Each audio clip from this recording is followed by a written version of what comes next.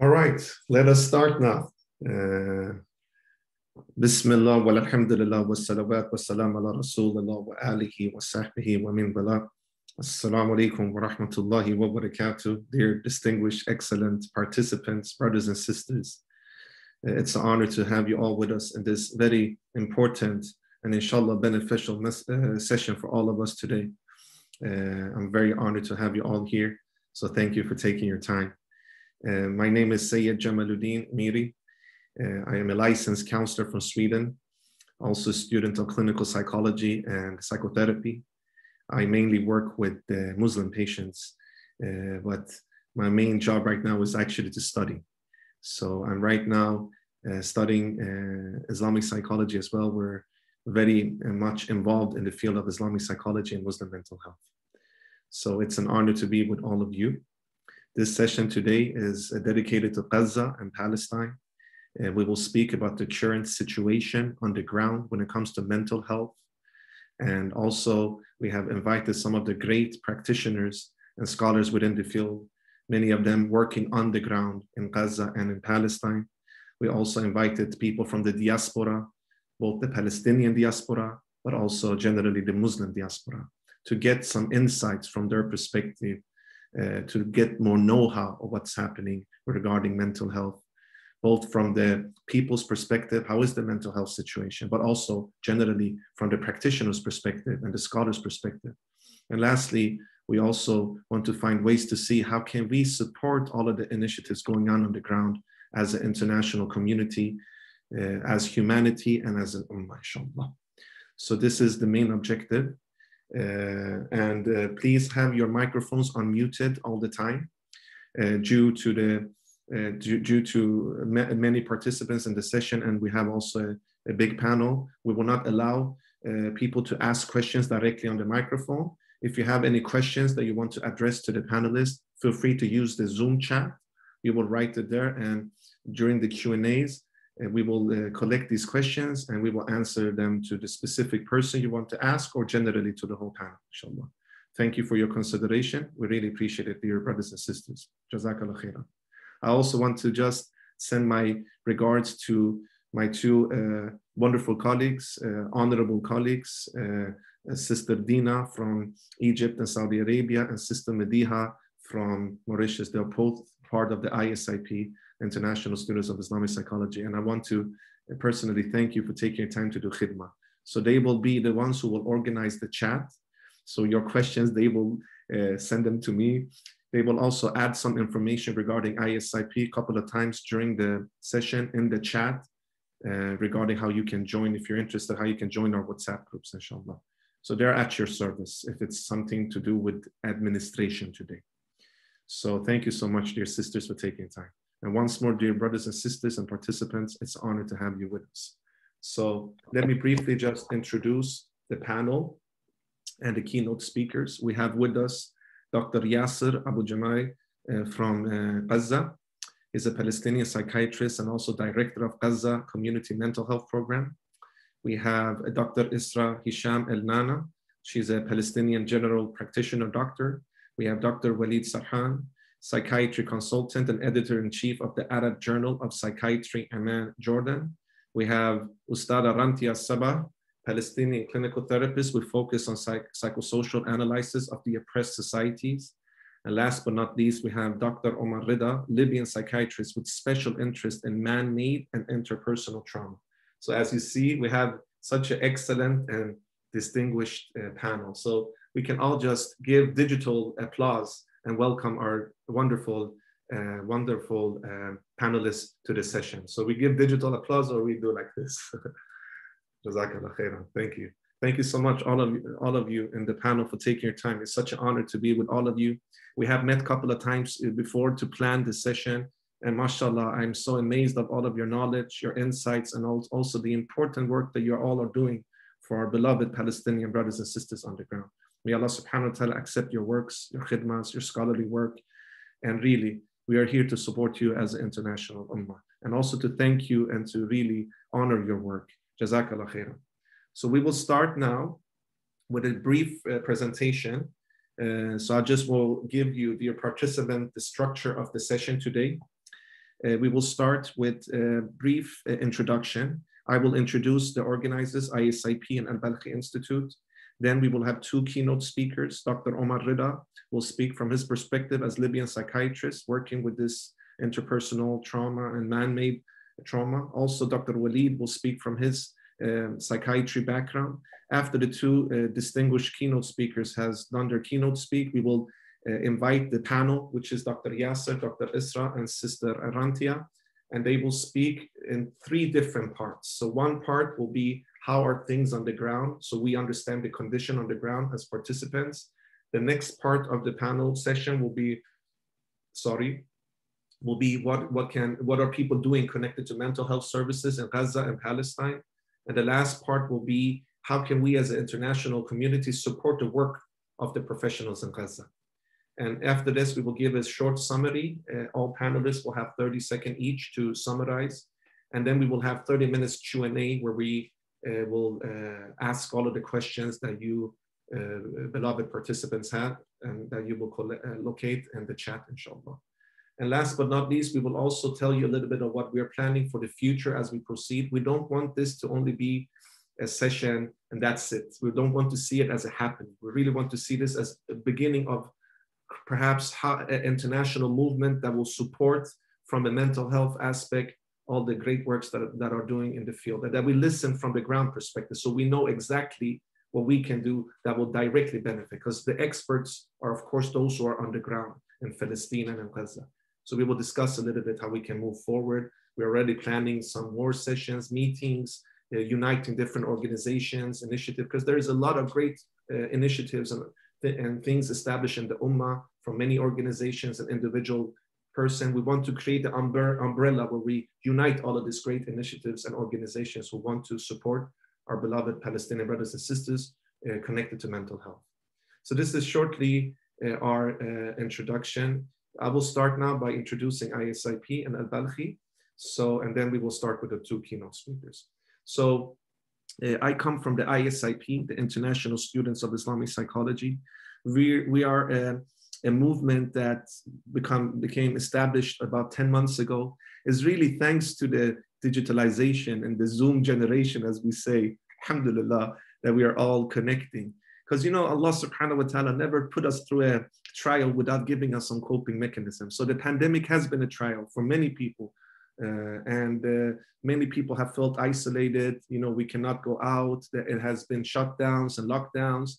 But Alhamdulillah, this has also created uh, an opportunity to study from uh, in different parts of the world, uh, lectures and sessions that maybe will not be available online before the pandemic is now available. So we're a lot of brothers and sisters who are joining conferences and sessions, and there we started to network and we created WhatsApp groups for Islamic psychology, for resource sharing, really, and for connecting and for really being advocates for the indigenous Islamic psychology, which we find as a great tool for healing in the Ummah.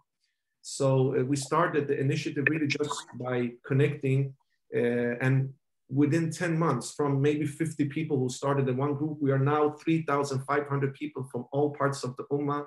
We have over 20 different groups. We have 80 nationalities represented. In our, in our strategic team of ISIP, we have 30 nationalities represented. Our main objective is really to normalize the field of Islamic psychology, build bridges, create networks, be a springboard for those who want to further develop their interest, studies, and research or practice within the field of Islamic psychology and Muslim mental health, create halaqas, gathering, lectures, seminars such as this, and really be an advocate for mental health in the Ummah. And also be part of how we can break the stigmatization when it comes to speaking about mental health. Because this is actually a stigmatization that exists not only in Muslim countries, also in non-Muslim countries. And we want to be part of, you know, breaking that cycle, but also offering tools within our tradition of Islamic knowledge, which could be good for healing. Because Islamic psychology has something that, which is wonderful. It has a holistic aspect. It is holistic. It sees the whole human being, uh, which is wonderful. Uh, compared with some other psychologies, which is very reductionistic, reductionistic. Let's speak about behaviorism, for instance, in West, which is very reductionistic. It's almost looking at the human being as a robot, which we are not. The Islamic psychology and these indigenous practices and is really a holistic aspect of looking at the human being. And we are a big advocate for holistic aspect. So we are very passionate about Islamic psychology. Um, so if you're interested to join our WhatsApp group, uh, Sister Dina and Sister uh, Mediha, uh, my colleagues will uh, put the link in the Zoom chat for all of you to benefit, and we will welcome all of you to join. We're also about to release a digital library for the field of Islamic psychology, Muslim mental health, free uh, for everybody who is a member of ISIP to benefit from.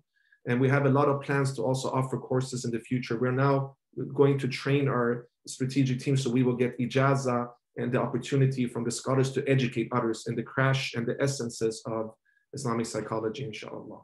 This is very shortly about ISIP, and we welcome all of you to join. We also have book clubs, halaqas, we have lecture series, readings to really deepen our, our, our, our knowledge regarding this field.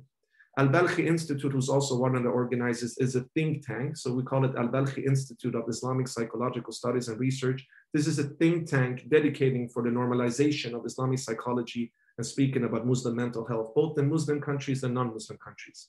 We're about 40 people, professionals, scholars, we have practitioners, clinicians, who are jointly working from an interdisciplinary approach to normalize. And we want to do it by creating curriculums, creating sessions, creating dictionaries, translating books into different languages, and really creating joint research as well. So this is uh, Al-Balkhi's Institute main objective. And ISIP and Al-Balkhi is very much linked together, even though we have some different uh, ambitions and objectives. And also uh, our plan is also in the future to have physical conferences as well. And we welcome all of you to join. So after the pandemic, we will, uh, inshallah, organize conferences in different countries. So you're all more than welcome to join. We chose Al-Balkhi as a name because Al-Balkhi is the name of Abu Zayd Al-Balkhi rahimullah. He was the founder. Can you imagine, dear brothers and sisters? Every time I think about it, I get so excited. Do you know that the founder of CBT, cognitive behavior therapy, as we see today, was a Muslim scholar from the region of Balkh in modern day North Iran and Afghanistan. Abu Zayd al-Balkhi rahimullah. He created the CBT thousand years ago. Can you imagine what a rich history we have as Muslims? What a rich history we have in Middle East. And this is for all humanity, this knowledge that Abu Zayd al-Balkhi. So maybe in Europe, they started to speak about this 50 years ago, 60, 70, 80 years ago. Thousand years ago, we had this. So Abu Zayd al-Balkhi became, um, rahimullah, became famous for the international community uh, because of the, uh, the translation of um, his book in Arabic into English by the late Professor Malik Badri, rahimullah. Professor Malik Badri, Badri rahimullah, he is the founder and the father of modern Islamic psychology. One of the greatest scholars of all time, subhanAllah. May Allah subhanahu wa ta'ala accept all of his work. May Allah subhanahu wa ta'ala uh, grant him Jannat al-Firdaus. He passed away two, three months ago, and we miss him dearly, but we see ourselves as his really disciples, and also we want to keep his legacy alive and spread it. So that's why we chose for the Think that Abu Zayd al-Balkhi's name to really uh, show respect to our history and also normalize it. And we see uh, that also non-Muslims are interested. They actually, in Norway, have translated Abu Zayd al-Balkhi's book into Norwegian and even them are interested to know more about the historical aspect of Islamic psychology and what we have uh, given in our knowledge resources to the humanity. So even non-Muslims are very interested in this field. So we welcome all to study this. And yes, this is a short presentation. Thank you so much for listening to me. I'm sorry that I took a little bit too much time. I'm a very passionate person. Please forgive me. So now we go to the uh, to the to the uh, keynote speakers. So let me introduce first uh, our first keynote speaker that will speak about um, uh, a little bit about uh, why we are doing this session. He's also part of the ISIP advisory board. He's part of the Al-Balkhi Institute. And I'm very honored to welcome Dr. Omar Reda uh, to this keynote speak. Dr. Omar Reda is a Libyan psychiatrist with special interest in man-made and interpersonal trauma. So please, a round of applause, dear uh, beloved participants, to, to uh, Dr. Omar. Welcome. Assalamu alaikum Barakallahu fikum. Thank you very much. It's such an honor and pleasure. And uh, I, I told Brother Jamal that, uh, you know, I really wanted the floor to be given to our beloved uh, Palestinian brothers and sisters. But inshallah, I have a little bit of background working with trauma survivors. I come from Libya. So I worked in that context. Then Allah subhanahu wa ta'ala gave me the honor to go to the Syrian Turkish border and also to the Burmese Bangladeshi border. So I came up with a project called Untangled, which uh, aims to break the cycle of uh, dysfunction that we see after trauma. Uh, we see it with individuals, but we also see it with families and we see it with communities. So I'm going to very, very briefly, inshallah, in two minutes, introduce, inshallah, Untangled. Uh, my hope, inshallah, one day I'll be able to visit Gaza, inshallah, and also pray in Al Masjid Al Aqsa together, inshallah. So, Untangled, very briefly, uh, aims to break the cycles that we see. And when people are traumatized, they might exhibit their, you know, trauma in the form of a behavior. If we don't understand the behavior, we might punish that behavior. We have seen trauma break uh, families, break communities. So our aim is to, you know, do some psychoeducation in order to uh, tackle the stigma. Also train the people on the front lines, uh, provide safe spaces for the community, uh, create culturally humble resources, and also, if needed, uh, clinical services in the form of uh, psychotherapy or medication management. So for example, we do uh, parenting workshops in order to give the tools and the skills for parents how to work with their um, children. I have done some here in the United States, but also this is uh, from a workshop in Cox's Bazar, Bangladesh with the Rohingya refugees. We do marriage seminars. We do uh, take children on camps and retreats. And this one we called it on the shoulders of the Prophet والسلام, because Muhammad uh, sallallahu alayhi wasallam was a very safe role model. The Sahaba felt very safe to come and climb on his shoulders. They felt valued and validated and respected. So we do the same, inshallah, with our children.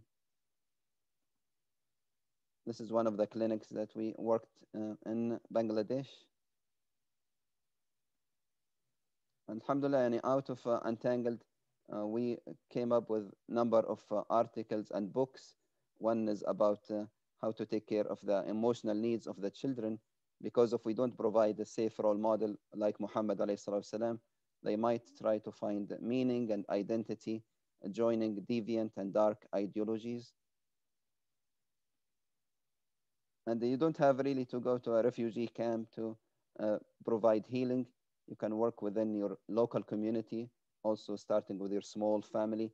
I'm a big family advocate, and uh, I'm, i really, really uh, want everybody, inshallah, to focus on their small family and their immediate community first. And I do that because my mom and dad, and they gave me a very uh, emotionally safe and available childhood. May Allah subhanahu wa ta'ala bless them. I try to do the same for my children. I have three daughters, so together we created, uh, you know, a YouTube channel. We called it the Daughter-Father Bonding Project in order to, inshallah, give the tools that are necessary for fathers to bond with their children, like what Muhammad والسلام, did with his four daughters. And this is the book Untangled that I'll be happy, inshallah, to provide a free uh, digital copy as a gift for you, inshallah. The book, uh, The Wounded Healer, is coming up, inshallah, very soon. It's under publication. It has to do with the, uh, taking care of the caregivers. All of us are wounded healers.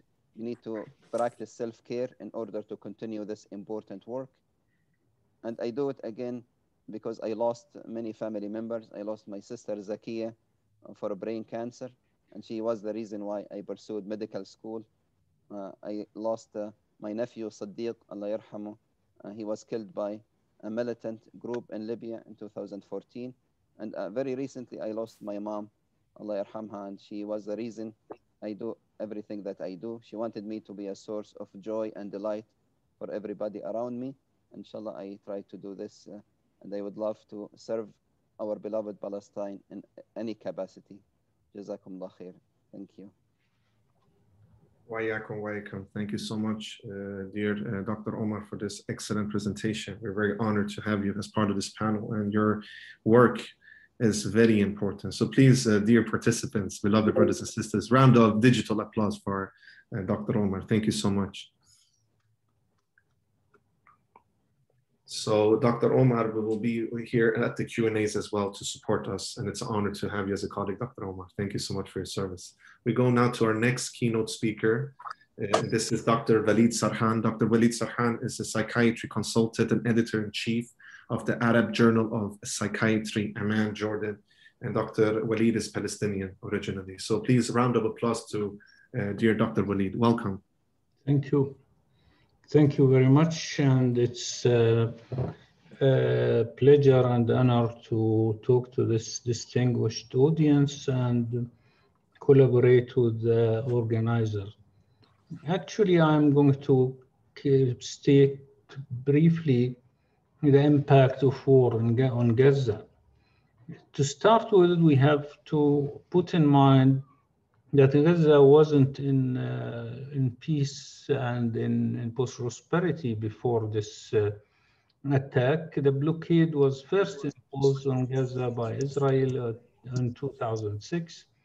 After Hamas won the Palestinian election, it was tightened in 2007 after Hamas took control of Gaza and split from the Palestinian Authority in the West Bank. Oh, sorry, one minute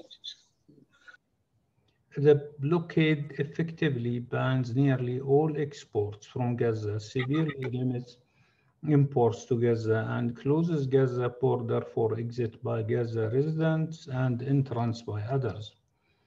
The impact of the blockade has been devastating. The, the, this is talking about before this last attack. Gazans don't have reliable access to clean water, electricity, and many other services. Construction is limited. Hospitals are under-resourced. School systems have been degraded. 7% of Gaza households are food insecure, and approximately 80% receive some form of food assistance. Gaza unemployment is over 40%, the highest unemployment rate in the world youth unemployment is about 60%. There are power outages uh, of up to 18 hours per day in most areas of Gaza due to fuel shortage and damaged or destroyed electrical infrastructure. 70% of households in Gaza have running water for only six to eight hours once every two or to four days two years after the end of Operation Protective Edge, over 65,000 Palestinians remained homeless, with only 30% of homes destroyed during the attack rebuilt. The human aspect of the war on top of this siege, uh, that so far, uh, not, the number of deaths is 243 and there is, I think, a little, some 10 more that were discovered later. 66 of them children, uh, 1900 injured. I think they have exceeded now this figure, and the psychological trauma is beyond measure. The destruction, the United Nations data shows that along some 140 square meters 459 buildings were destroyed or damaged, some of which were near hospitals, clinics, schools. The United Nations said on May 21st that six hospitals and 11 clinics were damaged, as well as 53 schools. 40 impact craters were detected on roads, which health care providers say impeded efforts to efficient get, efficiently getting those injured to hospitals. Impact on healthcare. This is what uh, uh, what uh, what Ely Sok said. It's completely blocked for the transportation of the patients to the clinic. The need for of a, of a mission for Doctors Without Borders in the Palestinian territories he is the, heading this uh, mission, and he says it really hindered the access to care. They had to walk to the hospital. Injured people have been to have had to be carried to reach the hospital. Financial loss estimated to have 40 million US dollar in industry, 24 million US dollars energy, 27 million dollars agriculture. UNRWA needs, UNRWA is the United Nations uh, agency for the, for the refugee, Palestinian refugees in the whole area. And a lot of them are in Gaza. They are refugees, Palestinian refugees who were displaced from other parts of Palestine in 1984 to and are staying in Gaza. And so in Gaza, you hear about refugee camps in Gaza. They are Palestinians living in Gaza. And they need 33 millions plus humanitarian aid. Other financial losses are very difficult to estimate. Political effect. The Palestinian resistance is growing fast. Positive enthusiasm among Palestinians everywhere all the Palestinians are part of the war and continued uprising. The new generation of Palestinians took over the struggle. This after this attack or during this attack, starting what I believe it's the National Liberation Revolution that will that will end the occupation, similar to what happened in Algeria when what it, it was liberated from the French the world, the world is realizing the Palestinian problem. Arabs are Muslims are more involved. I hope they will be more and more. The falling of the Zionism is a big issue.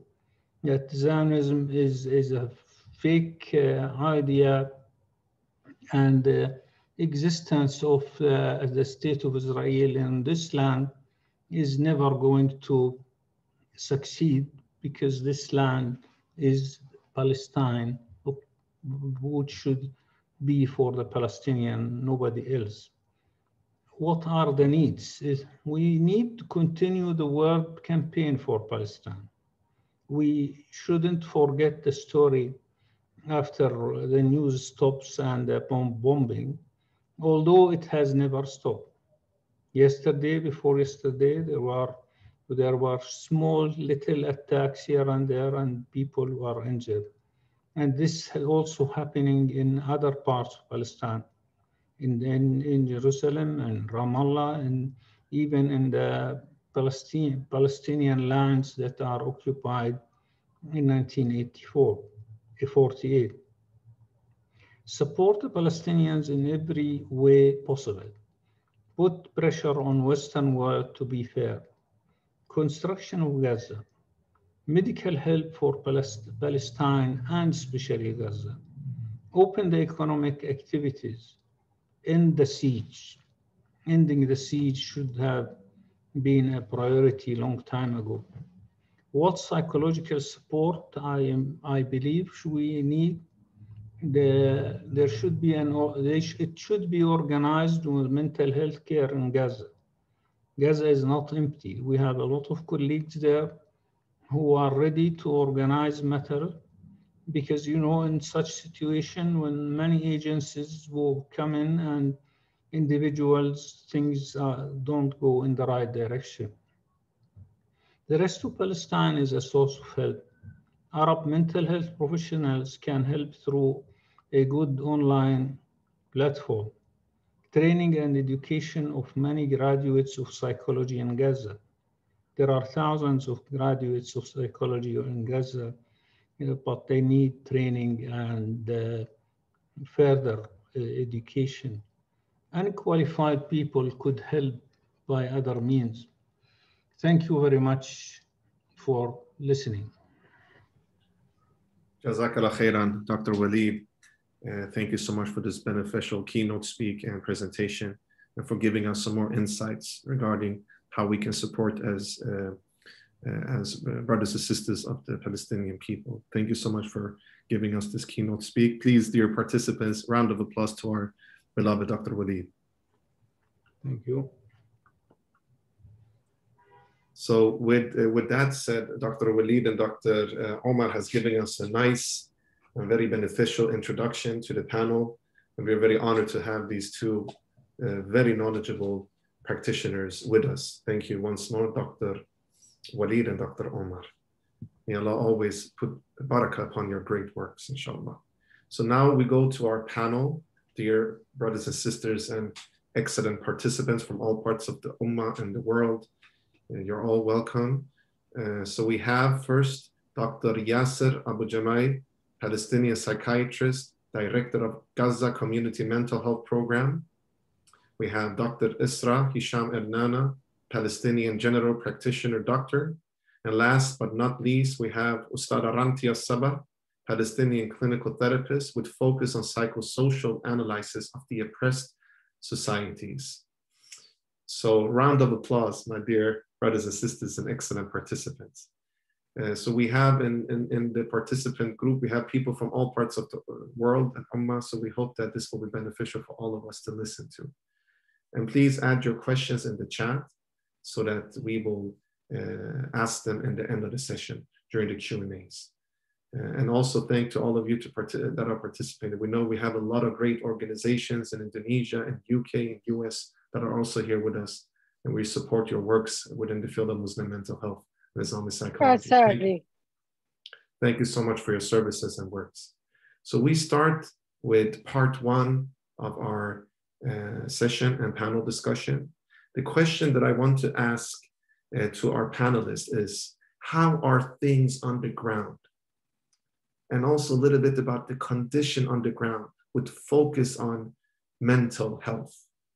This is the first question, because I think that for us as non Palestinians and not being in the ground, even though we feel with Palestine and Palestine is part of our hearts, uh, we need to know what is happening on the ground so we can be more aware and educate our local communities and find ways to support.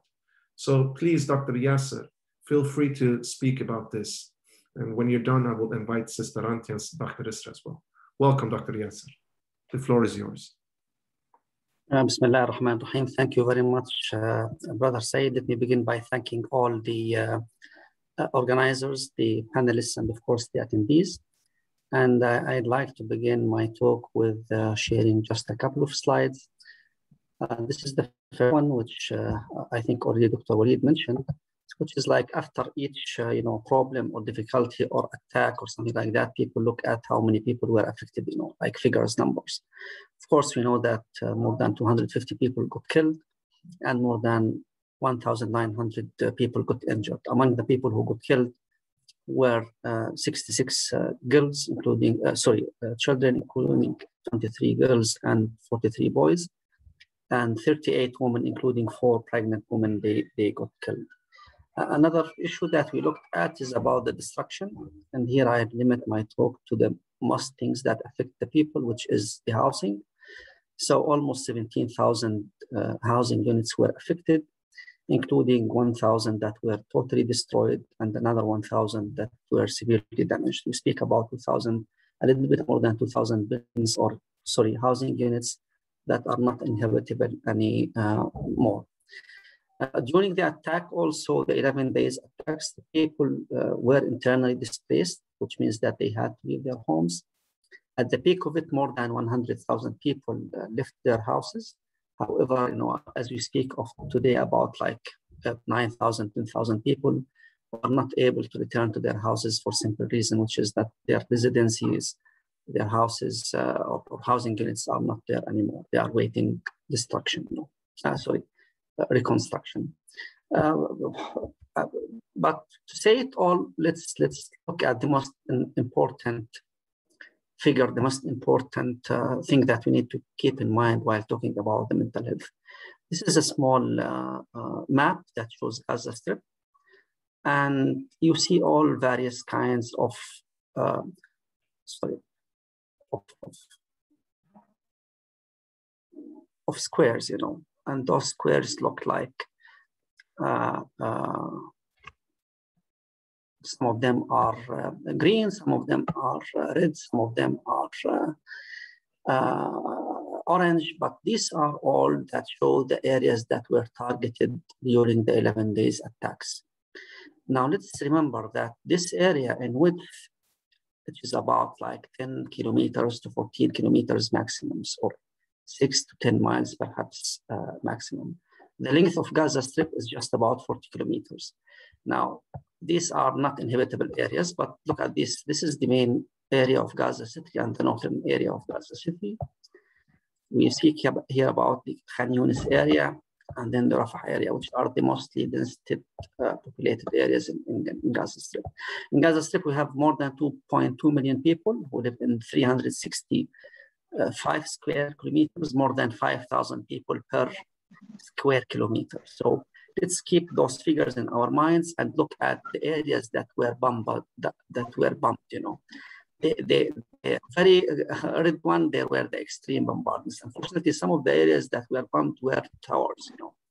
And uh, I like all the time to speak or to show this uh, map, which is, by the way, produced by international agency that's showing the damage, to understand the intensity of the bombardment, the severity of the bombardment because when we compare it to, to, to previous uh, uh, attacks, you know, because people like to, to compare things, we see that the number of casualties is a little bit lower.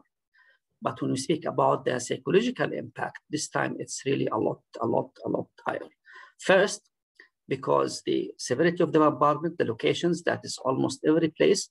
And then the areas that used to be, let me say, relatively safe, which is the western areas of Gaza Strip, you know, that they used to be the shelter for people who were running from the very eastern areas, you know, towards the safe place, the very northern areas towards the safe place. That area was not anymore safe because we heard the bombardment. No one really felt safe this time. Again, um, another of uh, a couple of uh, examples actually that really show that people knew that no one is really safe is this famous, very famous story that two of our prominent physicians passed away during the, the, the 11 days attacks, just being at home. Dr. Ayman Abu Rauf to your left, who is the head of uh, uh, internal uh, uh, uh, medicine unit at the Shifa Hospital, the biggest hospital in Gaza Strip, who was in charge, by the way, of the COVID-19 uh, management. And on the right, Dr. Muayin Abu, Dr. Muayin Al-Alul, who is a colleague of mine, who was a psychiatrist, who used to, a retired actually psychiatrist, who used to be uh, working at the uh, uh, uh psychiatric hospital in Gaza uh, City. So these two people were killed when they were just staying at home. You know, Dr. Ayman was just returning an hour earlier. He was just returning back to his home from his um, hospital, just to going home to get himself prepared for another day. But unfortunately, that day never happened. You know, with Dr. Ayman, uh, uh, not only him, but uh, I think three or four members of his, of his, family passed away with him. We speak about uh, 17 families with more than three people who got killed during those attacks. I think some six or seven families that were not, they are not there anymore in the registrar, which means that all of those people were just, they just passed away. So sometimes again we, we, we like to compare things 2014 attacks 2012 2008 but this is not the, the idea of showing these uh, figures but the idea is that any child who is now 16 or 17 years old have already witnessed four perhaps large scale offensives on Gaza Strip since 2008 2012 and then 2014 each one of them with the number of killed people with the number of injured people. And when you look at the children in each time, you find out 30% of the people who got killed or wounded are basically children. About 20 to 25% are basically uh, women. And these figures continue to, to, to speak for themselves. Not only those three attacks, but you know, a couple of years ago, three years ago, when we Palestinians felt that fed up really, there is a need to change things, and then the great demonstrations to return started to speak about more than 20,000 people who got uh, uh, injured. So when we speak about anyone who is who is simply, uh, uh, uh let me say, uh, who, who is simply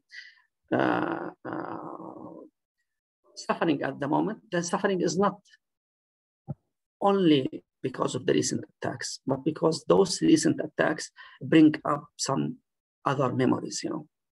That's why we all the time kept during the attack, hearing the large bombardment and thinking whether this is going to be another one like 2014 or it's more than 2014. And it's unfortunately more than 2014 when it comes to the fear, to the psychological impact.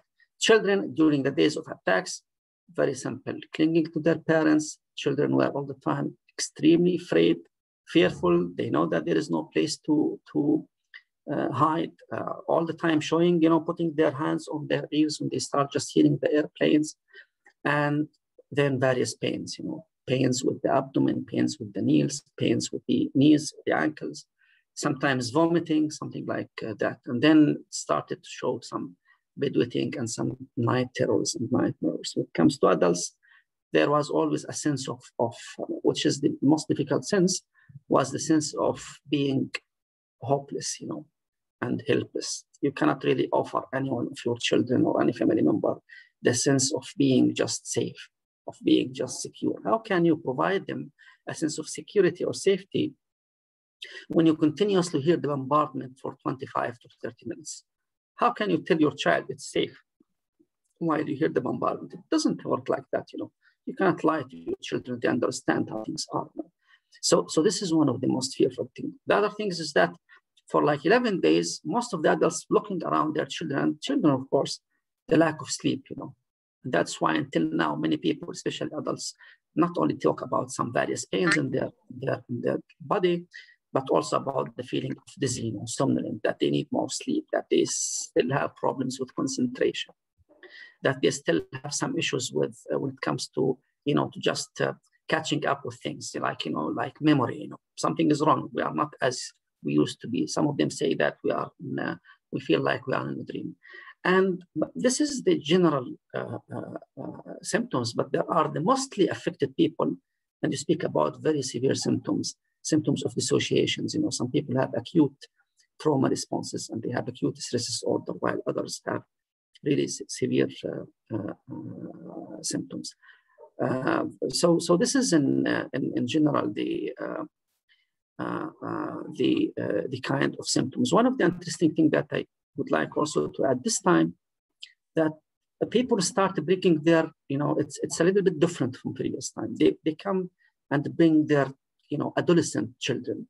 Speak about boys or girls who are like 15, 16, 17, and you feel like they are the most affected. Were they the most affected? Were they simply, you know, all the time thinking about the previous attacks? I'm not sure about that. We need a lot of research to do that. And, and finally, the thing that is most important now, it's, it's three weeks already, alhamdulillah, passed since the ceasefire. Three weeks. And the the issue is, is uh, uh, no, almost one month, by the way, four weeks. The issue is that until now, we still hear the bombardment, as Dr. Walid said, every now and then. Two nights ago, we had like three large explosions that were heard here and there. The drones are filling the sky, so, so you can never really feel that it's safe. And we all the time say that in order to rebuild your, you know, uh, uh, resilience to overcome the trauma, you need some feeling of safety that you can really allow natural healing processes, the intervention when it comes to psychological intervention or uh, psychiatric intervention, etc., etc. So you need some some peace. Unfortunately, that peace is not yet uh, uh, there. Unfortunately, the borders that were closed during the attacks are not open back. I speak about borders that allow uh, uh, let me say, goods to come into Gaza Strip. And this is again another uh, difficulty. So all in all, we are we are waiting for, for a change, but but all in all, things are still as difficult as they were. We, as previous times, expect the wars to come in the future, because in the very first weeks after the such attacks, people they just look at try to gather themselves, you know, try to uh, uh, uh, go on with their lives one way or the other. But the psychological implications show a little bit later. And on the other hand, this comes because many people try some other interventions. And when they just find out that they need to go to a mental health therapist, then it gets us a little bit late. So thank you very much. And I'll give the floor to my other uh, colleagues. Assalamu alaikum. Jazakallah khairan, uh, Ustad Dr. Yasser. Round of applause for Ustad Dr. Yasser, mashallah. Uh, you're doing an amazing job on the field. And I think I speak for the whole international community here that we are really appreciated of all the works. And also, it's not an easy work you guys are doing. And may Allah uh, accept your work and may Allah always put tawfiq. And uh, I'm also sad to hear about your colleagues and, of course, so many distinguished brothers and sisters who, who passed away in this recent attacks and this recent aggressive oppression, terrorist attacks towards the Gaza people. So we ask Allah to uh, grant them Jannat al-Firdaus, all of them, inshallah, and we will make their um, work never get uh, uh, lost. We will always remind them and their great works and their sacrifices for the humanity that they have done. Thank you so much. Jazakallah khairan. Please, round of applause, dear brothers and sisters, participants to, to this first session. Let me now uh, go to our next uh, panelist. Uh, is it, it's still the same question? We're still in part one. How are things on the ground? So Dr. Yasser spoke a little bit about it, also spoke about the fear, the different traumas that people are facing. So now we welcome uh, Sister uh, Rantia Sabbah. She's a Palestinian clinical therapist who focus in her work on psychosocial analysis of the oppressed societies. We have had several discussions. I'm very inspired by Sister Rantia's work. So she will speak a little bit more about normalization of oppression and how that affects psychologically, the psychological impact. Also a little bit from the perspective of Sheikh Jarrah in Al-Quds, Jerusalem, and also Gaza, and specifically in West Bank where uh, Ustada Rantia is working. And she will also speak about the holistic approach regarding Palestine as a large. So please, dear brothers and sisters, an excellent participant, round of applause to Ustada Rantia. The floor is yours. Jazakallah khairan. Thank you so much. Hello, and thank you, Brother Seyed. Thank you, everyone, and the panelists for being here with us today. So I would like to start my speech today with a story that made me consider what, um, sorry, reconsider what mental health means in Palestine and for me, in hopes to make it clearer and closer to understanding the situation, specifically from my personal experience during the last events in May in the West Banks. During the month of May this year, Palestine has made the headlines worldwide, and it started from Sheikh Jarrah to Jerusalem al Aqsa, then on to the vicious Israeli aggression on Gaza. Many therapists have used their platforms to try and assist Palestinians and supporters in ways to cope with what's happening. And I was looking personally for comfort and tips on how to balance during all of what was happening so I can recharge my energy and keep going. So I came up upon an Arab therapist that has given her input on the topic on how to deal with stress during these events. And she said a sentence that really triggered many thoughts I had. She said, You don't need to participate in any way during these events if your energy doesn't allow it, even in following up with the news, because you need to take care of yourself and your mental health. And this is the top priority. At the end, you will burn out if you don't. So many can agree with what she said, but what stood out for me was her words exactly is the Eurocentric domination on the definition of what mental health is like and how we should reach it. We can notice the privilege in disconnecting and detaching oneself from the scenery in order to protect ourselves from the outside reality. The problem with the Eurocentric definition of mental health or mental well being is the absolute detachment of the individual from the group, as if well being of the individual can mostly be obtained separately from the context and from the group. So the process of therapy starts by focusing on ways of coping with the personal elements of this individual in order to reach the fullest and most fruitful abilities that can contribute to the community, disregarding the suppressive system and structure this individual lives in. This is so similar as well to the definition of the World Health Organization on mental health. It exactly defines it as a state of well being in which the individual realizes his or her own abilities and then ca can cope with the normal stresses of life, can work productively and fruitfully, and is able to make contribution to his or her community. This definition can be true to many individuals and community, but it also dismisses the context and environment many others live in, one of which is the Palestinian context. The Palestinians are born with a clear political identity. They're viewed as political objects, and thus their very being is politicized. Their very existence is discussed in a political way and are used as tools that affect the society as a whole. The Palestinians are born politicized and political, and their very being is political itself, meaning their very existence and discussed is discussed in a political way that affects the rest of the society. So Palestinians grow up bearing the burdens of their ancestors' history, the future of their children, and bearing a clear answer to imaginary questions and with an analytical thought stemming from an environment full of political, classist, and social violence, making the Palestinian individual carry several identities in one life, and thus having the Palestinian psyche drastically affected and transformative in connection to its environment. So continuing to connect mental health in Palestine with only media covered escalation of aggression from the occupation is very condescending view on Palestinians, where our mental health and humanity is reduced and being constantly connected to violence. Many believe that the Palestinian mental health is negatively affected, mostly when there is a direct violent aggression and major events happening towards them. But in reality, the most aggressive form of violence Palestinian has been living under is the calmness phase. The calmness is usually believed to offer mental ability, stability, the quietness. But in the Palestinian context, calmness is the submission to the status quo. And the status quo is by definition in Palestine is a violent one. So calmness in this is a phase where the violence and oppression are systemically turned into a social structure, and then oppression is normalized. It becomes a part of the life we live in. So in this phase that Palestinians have been living under for many years now, we notice the slow insertion of the day-to-day oppression in the psyche of the Palestinians and then the development of coping mechanisms as protection tools and as a reflex to the context. So after this violent structure is embedded in our lives, naturally we try and cope with it to continue living and fighting.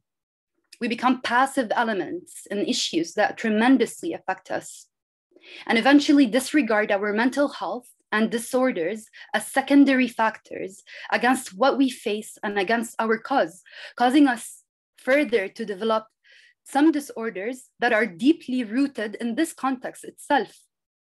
Well, until recently, until a social uprising occurs containing a very direct form of violence that one cannot detach oneself from it, and thus letting go of these coping mechanisms and regaining the agency in this vicious context we live in. We reform and we regain our previous roles that were purposefully put aside to maintain an aggressive status quo. This happened during the last events in Palestine, where we saw collective efforts in fighting the status quo of a colonialist and apartheid system called the Israeli occupation. This form of violence, specifically like the last one, has limited the already limited options we have in our lives and the life under the status quo. So the unsurprisingly, the passive roles that we used to hold on to and the coping mechanisms has fallen down and the agency of the individual, the Palestinian individual within the collective has been reactivated. What happened is that this collective fight gave meaning to the individual roles of Palestinians. The spaces became wider, the voices became louder, and the psyche became definitely healthier. Because regaining the agency in your life literally means regaining the control in your own life, or at least trying to, which is exactly what was missing in the lives of Palestinians all these past years of calmness. As the World Health Organization defined it, we did realize our own abilities and truly started working productively and fruitfully towards our lives and freedom and eventually leading us to actually contributing to our community in every shape and form of resistance. So, as we can see, mental health is not only for Palestinians, but every nation and people who are under oppressive systems and oppression, resistance is an integral part of their well being. So let's start and look differently from now on on what is exactly the meaning and the definition of well-being and how to take care of it in a context like the Palestinian one. Thank you. Jazakallah khairan, Sister Ustada Rantia, mashallah. Round of applause. What a, what a speech. Mashallah.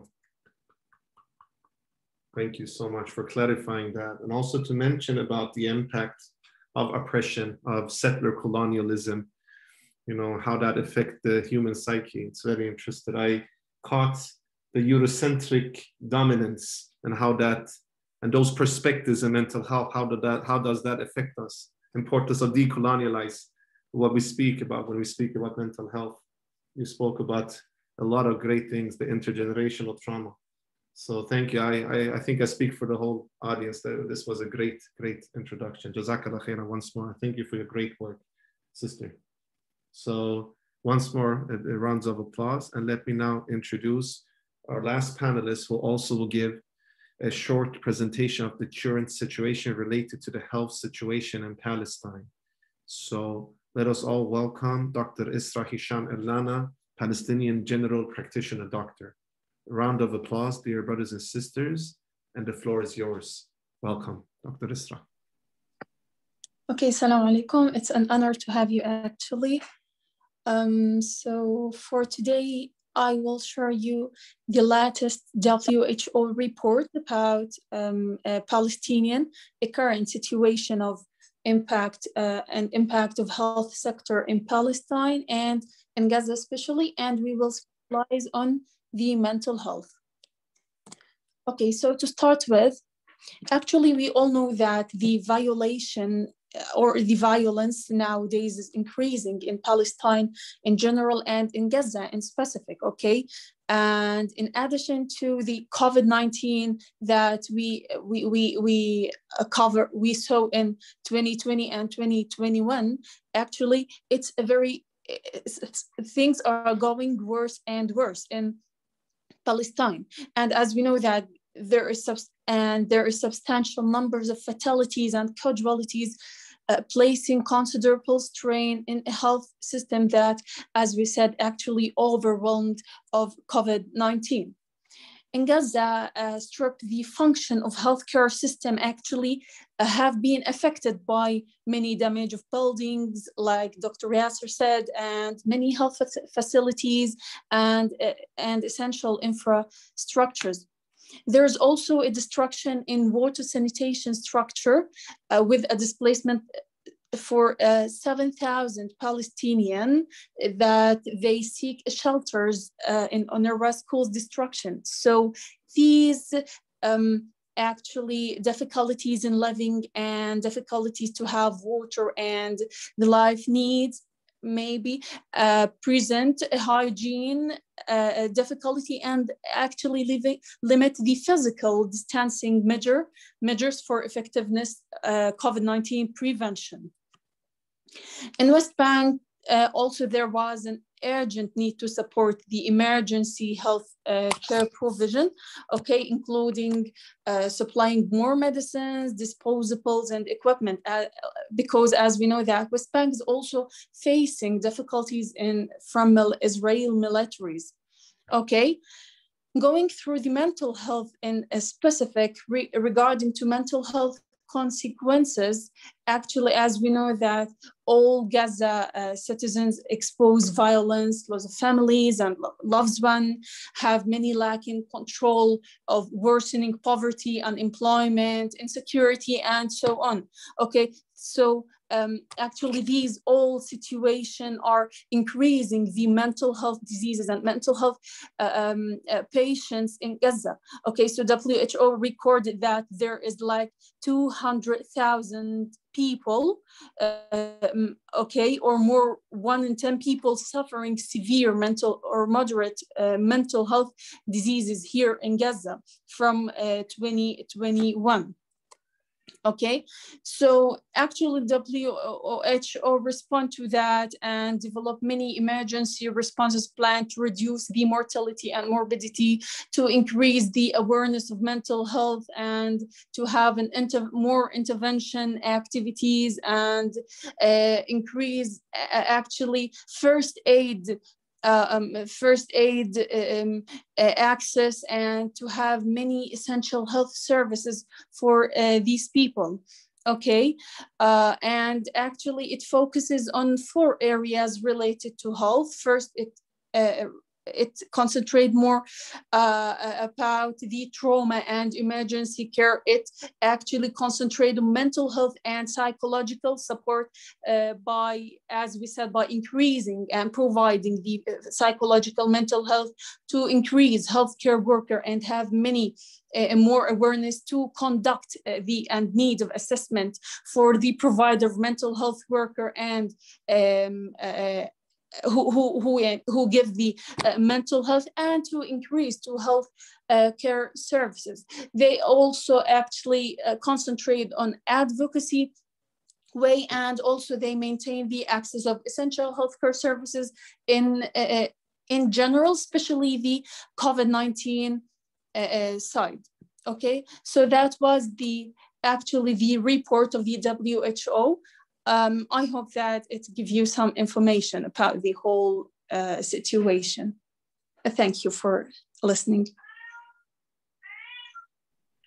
Jazakallah khairan, Dr. Israa. Uh, thank you so much for this very beneficial presentation to get more insights regarding the situation on the ground. Uh, I think I say to the rest of the group that we really appreciate it. Thank you so much. Round of applause to Dr. Israa for her great works she's doing.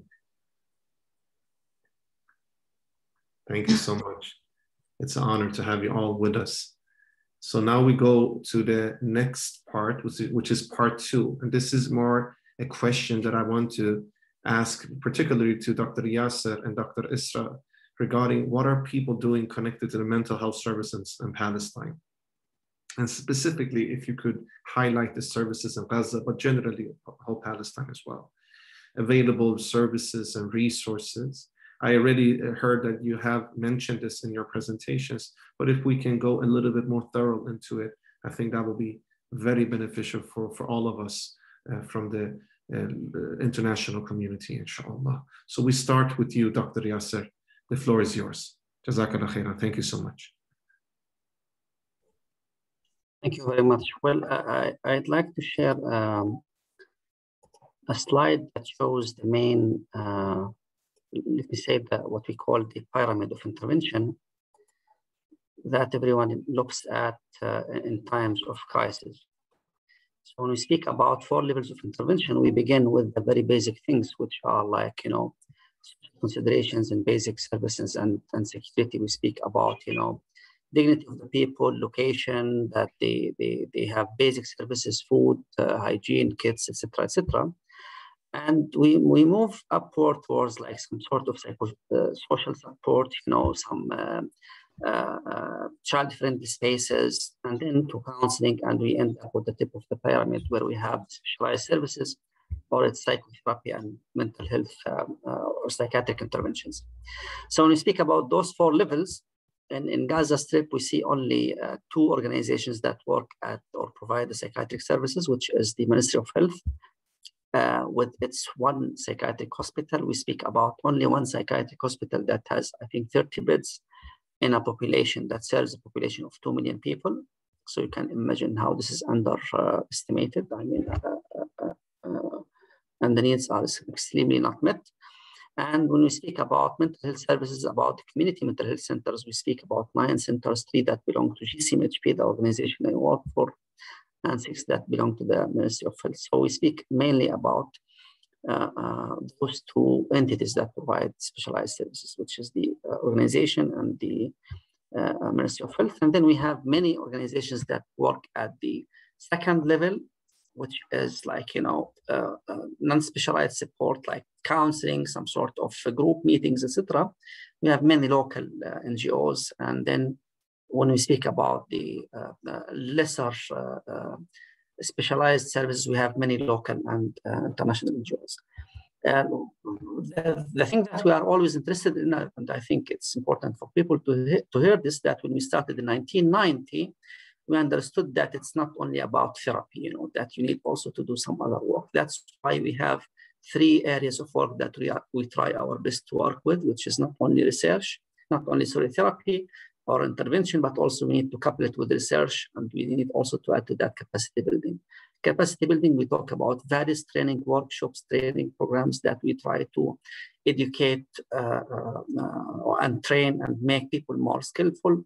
whether those people are our own staff or the other staff that work in the uh, Gaza Strip. I speak only about Gaza Strip because, of course, because of the occupation and the blockade, we were able to physically work only within Gaza Strip throughout 30 years of, of, of work. Uh, for example, when, when we worked with 20, in the year 2020, we, we have presented services to more than 16,000 people, but the direct beneficiaries who were patients, let me say about 3,177 um, uh, uh, patients. It's important to say that the uh, services that we provide need to be a comprehensive service, which means to be able not only to provide to adults, but also to children, not only to, to men, but also to women. And, and this uh, picture comes from one of our three community centers. It's our play therapy room when we see a therapist, a colleague of mine, a psychologist working with a young uh, uh, child. This photo was taken, by the way, uh, or this picture was taken, by the way, about two months from now. So it's not for a child who were really who was really attacked by the, or suffered from the recent uh, uh, attacks. Uh, one of the main things that we try to do all the time, working with the community, is all the time to change the uh, uh, let me say, uh, not only the feelings, but the understanding, the cognition of people around us. So when we talk to children, you would like to make the children happy again. You need to make the children feel safe again. You need to make children think about their future. You know, we need to make children overcome the difficulties with concentration and perform better with the uh, schooling. And this is something that you cannot achieve alone without the help of um, uh, families. That's why you need all the time uh, uh, uh, some sort of engagement by the family and engagement by the therapist um, also.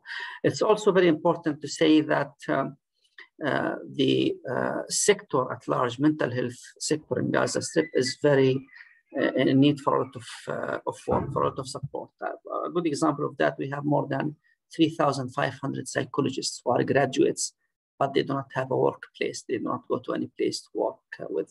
The number of uh, people who work in the mental health profession in, in the whole Gaza Strip, whether in the Ministry of Health or in GCMHP, are less than 200 people or about 200 people. So imagine 200 people are providing the mental health services to about 2 million people. So the, the, the needs are huge, the demands are huge. However, the, the resources that are needed are very uh, scarce, but I think we can talk about this uh, a little bit later when we speak about what other things that could be. Thank you very much. Thank you so much, Dr. Yasser, for a terrific presentation. I think I speak for whole group. We got more view regarding how is the how much services is it in Gaza, uh, and uh, as you say, it's under underdiminished, like 200 for a population of two million. It's not it's not much. So it's under dimensioned. And this is good for us to know how we can support your great work, inshallah. Uh, so thank you so much. Round of applause to Dr. Yasser for this uh, important uh, presentation. Uh, so yes, there is just briefly, there's a lot of questions regarding the, the, the, the, the session, if we will upload it on YouTube. Yes, in a couple of days, we will upload this session on YouTube. We will share the YouTube link in our WhatsApp group. So if you join our WhatsApp group, we will uh, get, get, that information. Also, we will ask all of the panelists if they would like to share their PowerPoint slides. And if they give us that uh, permission, we will also share it in the WhatsApp group so you can benefit from it. Uh, I also want to thank uh, Brother Bill Slaughter. He just wrote uh, the link to Dr. Yasser's organization in the Zoom chat. Thank you, uh, Brother Bill, for your great work, by the way. You're doing no, an amazing baby, job as advocate.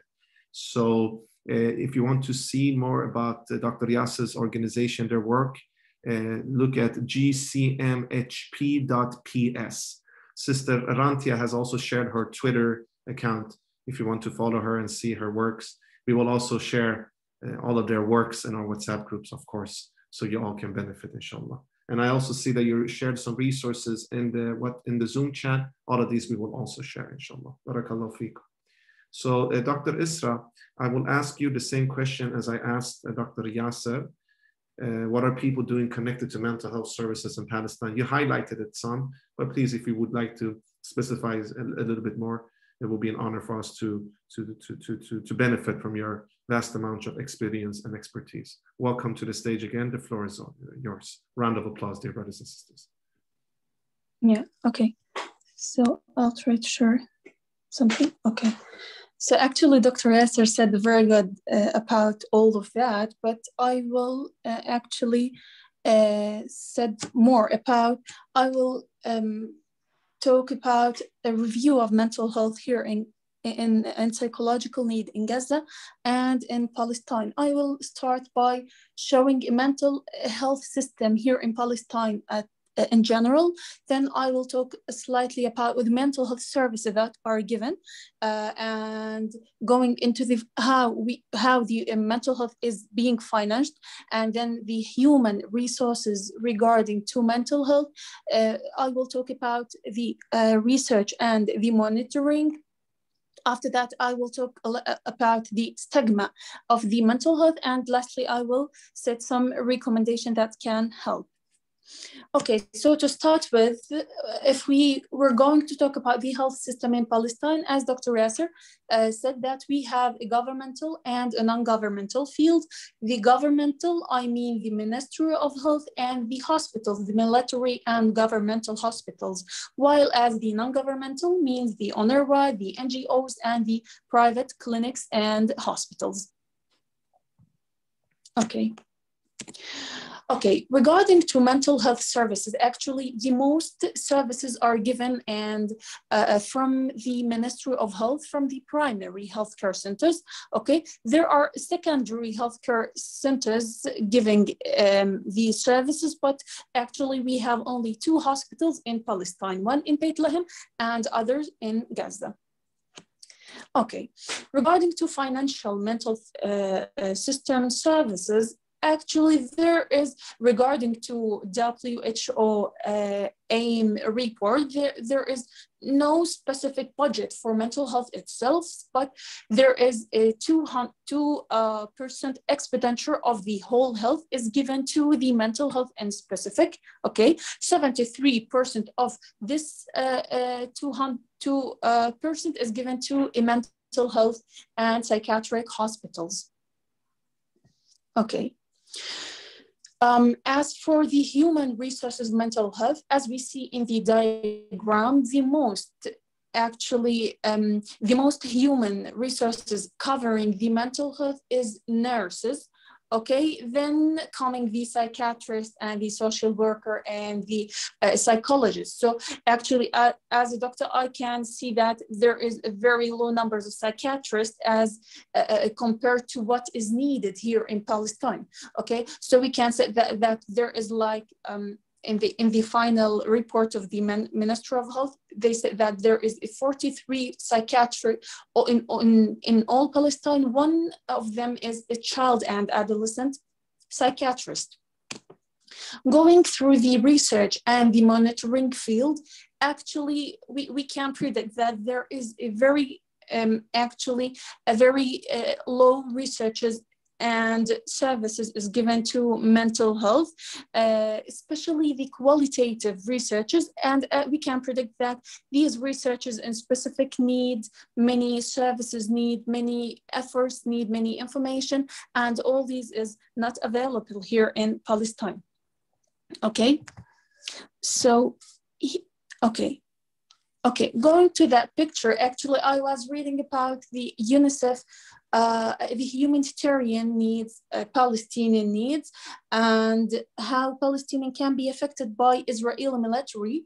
Okay, as we see here in the figure, they, that there is like 2 million people are affected by uh, Israeli military in uh, uh, 2019, okay?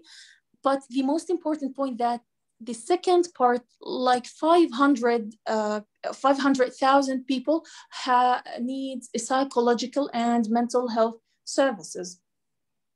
Here's in the figure, actually, there was a comparison between the child uh, needs and the um, actual psychological and mental health need is given for the children in West Bank and Gaza. And as we actually noticed that the red, uh, the red, um, the red one is, we can see that it's the what is presented and the uh, blue one that is the actual actually mental health need uh, to be given Okay, so this big gap, we can predict that this is gap because of many reasons. I think that one of them is what is called mental health stigma. stigma. Okay, we all know actually that there is a stigma related to mental health globally, internationally.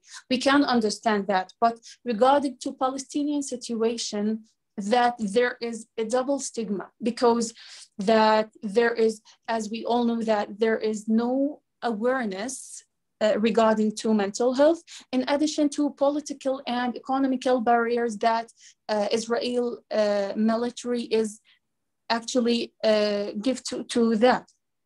In addition to that, I, I can add that point. We can say that the psychological patient and uh, for example, one who has depression or who has a psychological disease in Palestine, actually he's he's named as a crazy or he's not actually normal. Okay, so all these factors in addition to religious point we can set so all these factors actually increasing that difficulty to enter and to have um, that um, actually a comfort zone for the mental health to work in okay so lastly actually my recommendation is to develop that mental health services by strengthening the mental health staff members that the first point. Secondly, the awareness of stigma is too important, very important to the mental health worker and to citizens also. The third point actually to get some effort uh, need to be to improve the supervision system and to ease the system toward the mental health.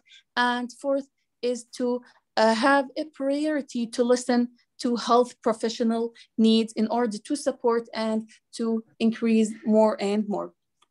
And last, actually, I have to say that there will not be health without mental health, and everyone is entitled to an environment that promotes health, well-being, and dignity. So thank you. Jazakallah khairan, Dr. Israa, for this very, very uh, beneficial uh, presentation. I think I speak for the whole group and our beloved participants. I'm sure we as international community got a lot of more insights from the presentation of yours and Dr. Yasser in this part two. So round of applause, please, to Dr. Israa's wonderful and excellent work. And inshallah, we will provide all of these slides uh, with your permissions. We will, I will ask a panelist afterwards so that you can benefit afterwards as well to read it.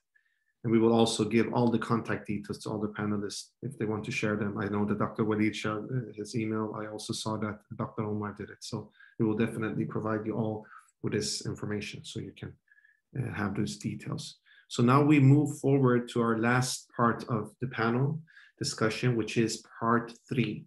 And this is more to do, uh, what can people do to support the work that professionals are doing in Gaza, filling the gaps and action items.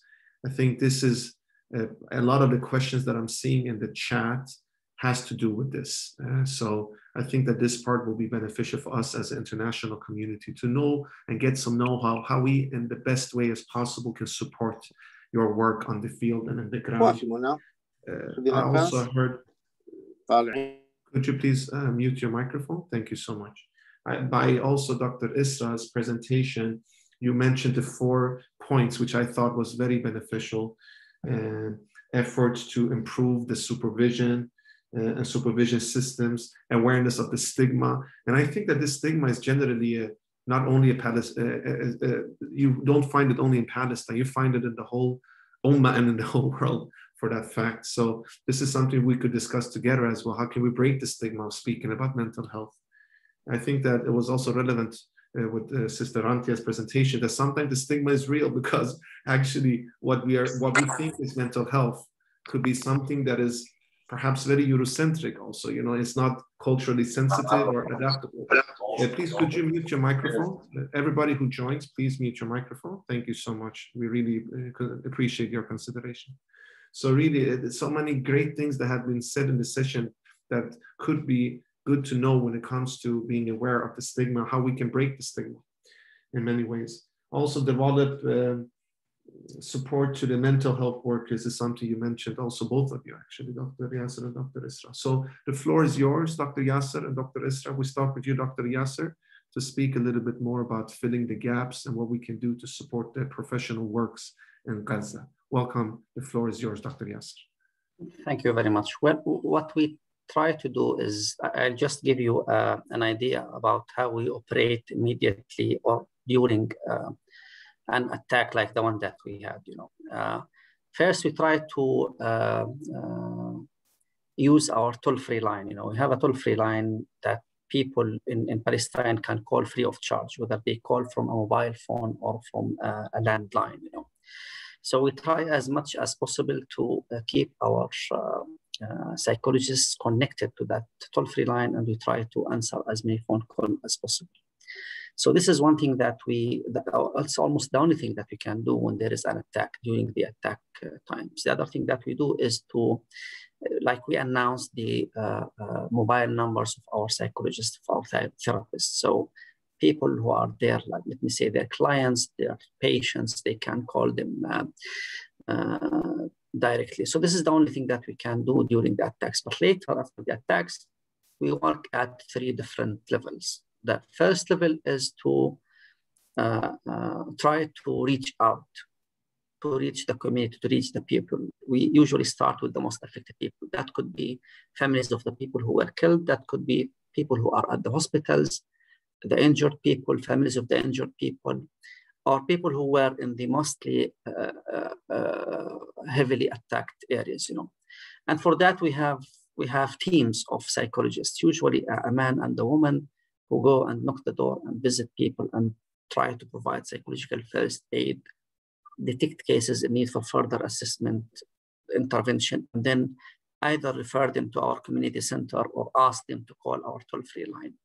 So this is one level is to, to increase availability of the service and accessibility to the people who are in need. The second one is to try to provide stress management and care for caregivers. And this comes to more than one level. One level is, for example, people who were like emergency uh, uh, medical first aid, ambulance uh, uh workers, you know, all of those people will come really out of the uh, uh, after the offensive with huge need for some kind of stress management. So we try to apply as much as possible of by our own staff those this management, um, let me say, uh, uh, interventions. And usually that is an in, introductory to care for caregivers. Care for caregivers or supervision is something that we offer to uh, people who work with patients uh, uh, at large. And we usually do that in cooperation with the main stakeholders in, in, in Gaza Strip. And then at the third level, we try to increase our capacity to, to, to accept uh, uh, clients, to accept people who call us. And this is the most challenging part of it. As I said previously, you know, we have about 3,500 psychologists who are like new graduates or people who have graduated during the last maybe five to 10 years none of them really has access to, to our workplace. So what we are trying to do is, is that we try to, to, to raise some funds in order to get more human resources. Uh, for example, our initial plan now to, to, to cover the immediate, uh, uh, let me say, consequences after the recent attack is to be able to, to hire at least 50 people. These will be people, like more than half of them, about 35, will try to visit the community as much as possible the other people will try to be uh, available in the community centers. Uh, so what we are trying to do is to do something like this and something like that in order to increase accessibility to the people. And, another very important part of it, which is a big psychoeducation campaign, because a lot of the population, a lot of the parents, they do not know, understand why their children behavior started to become different, you know. A lot of people, due to the stigma, but also due to the lack of awareness, you know, and understanding, they need to be educated. And this is something that we do through radio spots, through uh, TV programs, through uh, social media, our own Facebook website, you know, and we try to educate the population about the, you know, some kinds of uh, uh symptoms, behaviors that not clearly linked with the with the trauma, but then you need to educate them. We we have like you know uh, after the 2014 attack about 11 or to 12 percent of the children who were presented to GCMHP were presented with bedwetting. You know, there were another people with, with children with problems of concentration. But usually parents are not aware that that bedwetting is a problem that is related to the uh, to the trauma, for example.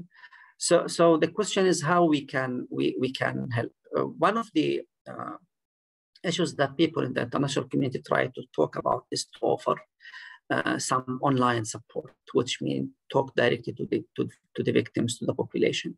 Well, this is something that we totally do not really advise for, for more than one reason. One reason of it is that um, uh, the, the conditions in Gaza are very unique, very exceptional. So unless the, the caller knows really what to do, then they shouldn't really provide call because they might, you know, not intentionally, but they might cause some harm to the people who, who are on the other, you know, call. I mean, Palestinians who are really talking to them. The other thing is that um, from our notes, you know, the the uh, uh, telephone counseling are people here in Gaza are very skeptic about for, for various reasons, you know some of the reasons are really crazy. You know, some of the events that happened during that attacks were crazy. So, for example, a mother would receive a phone call, and then someone is asking, "Where is your son? Is he at home?" Yes, he's at home. And then a few minutes later, the home is bombed, the flat is bombed. You know, so there are some some skepticism. And then there was a, a, a report about. Uh, uh, uh, uh the um, Palestine Relief uh, Medical Society, whose phone numbers were compromised and suddenly it was their phone number, but I mean, but they were not the ones who were calling, you know, and the questions were about whether Israel was really using their phone numbers to, to reach to people. So this is this this makes a lot of the people worried about really accepting international uh, uh, phone call phone calls.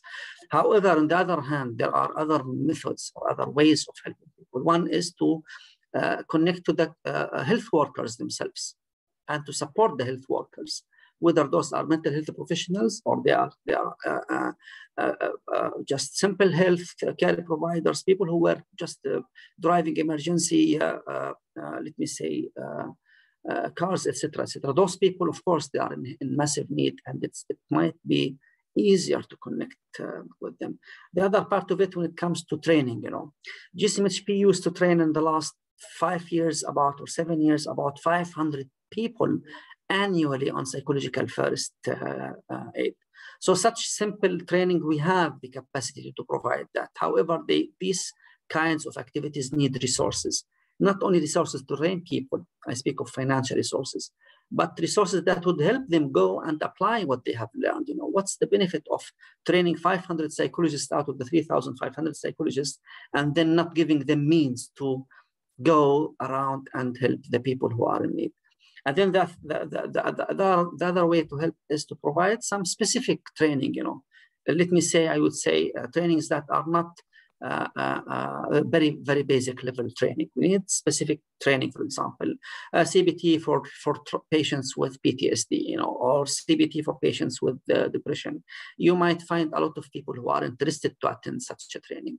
So, so there is three main ways of helping first get in connection with the uh, uh, uh, staff on the ground, try to make meetings with them, and through them you can perhaps find means to reach the uh, uh, clients in need for help. The second one to offer training, but not the very basic and simple one. It should be advanced training modules. And the third one, which is to, to try somehow to spread the knowledge, to try to raise funds for those who work in, in the field. And then there are two other things that we always need to, to think about, which is speak to your community members, try to make a change. Try to make a change, speak about Palestine, speak about Gaza. There is an, an, an, a necessity to end the root cause of everything that happens around us, which is, which is the occupation. So please be active in the community, be active when you speak to your, you know, representatives, etc., etc., and, and, try to make uh, uh, a change. And uh, and then keep us all the time in your thoughts keep us all the time in your prayers you know. And do not give up hope on on, us you know. We, we, are struggling we are doing our best we are helping helping as many people as possible. Uh, and from your side we expect you also to keep being in touch. So so this is an, an engineer. Thank you very much. Uh, thank you so much, uh, Dr. Yasser, for very concrete concrete thoughts on how we could help your work, your organizations work on all of our great practitioners on the field. Please, uh, beloved brothers and sisters, participants, round of applause for Dr. Yasser. For me personally, this has um, this is very beneficial. I think it is for all of our brothers and sisters, and excellent brothers and sisters. Actually, we have an idea at ISIP to and Al to create a pamphlet where we can put all of these points that Dr. Yasser is saying and spread it in our social medias and in our WhatsApp group so that people really can see, you know, this is how we can do. And in the Q and A's, we will speak more because there's a lot of question. How can we spend, send money to your work? How we can give sadaqah? Uh, so there's a lot of questions. So maybe we can also discuss this. Well, thank you, Dr. Yasser. Very concrete, very beneficial, very important for us to know. Jazakallah khairan. So we go now to Dr. Israa, just for you to also give some thoughts regarding filling the gaps. The, the, the floor is yours. Welcome. Yeah, okay. Actually, Dr. Yasser took uh, a very informative, actually, recommendation information. I will not add a lot uh, on his talk. Um, in addition to my recommendation I gave you uh, in the presentation, actually, I will I will say that going or concentrating into research uh, either um, in Palestine or outside Palestine, concentrating in mental health research can be very uh, beneficial by increasing the uh, information and research clubs and so on. That the first point for me.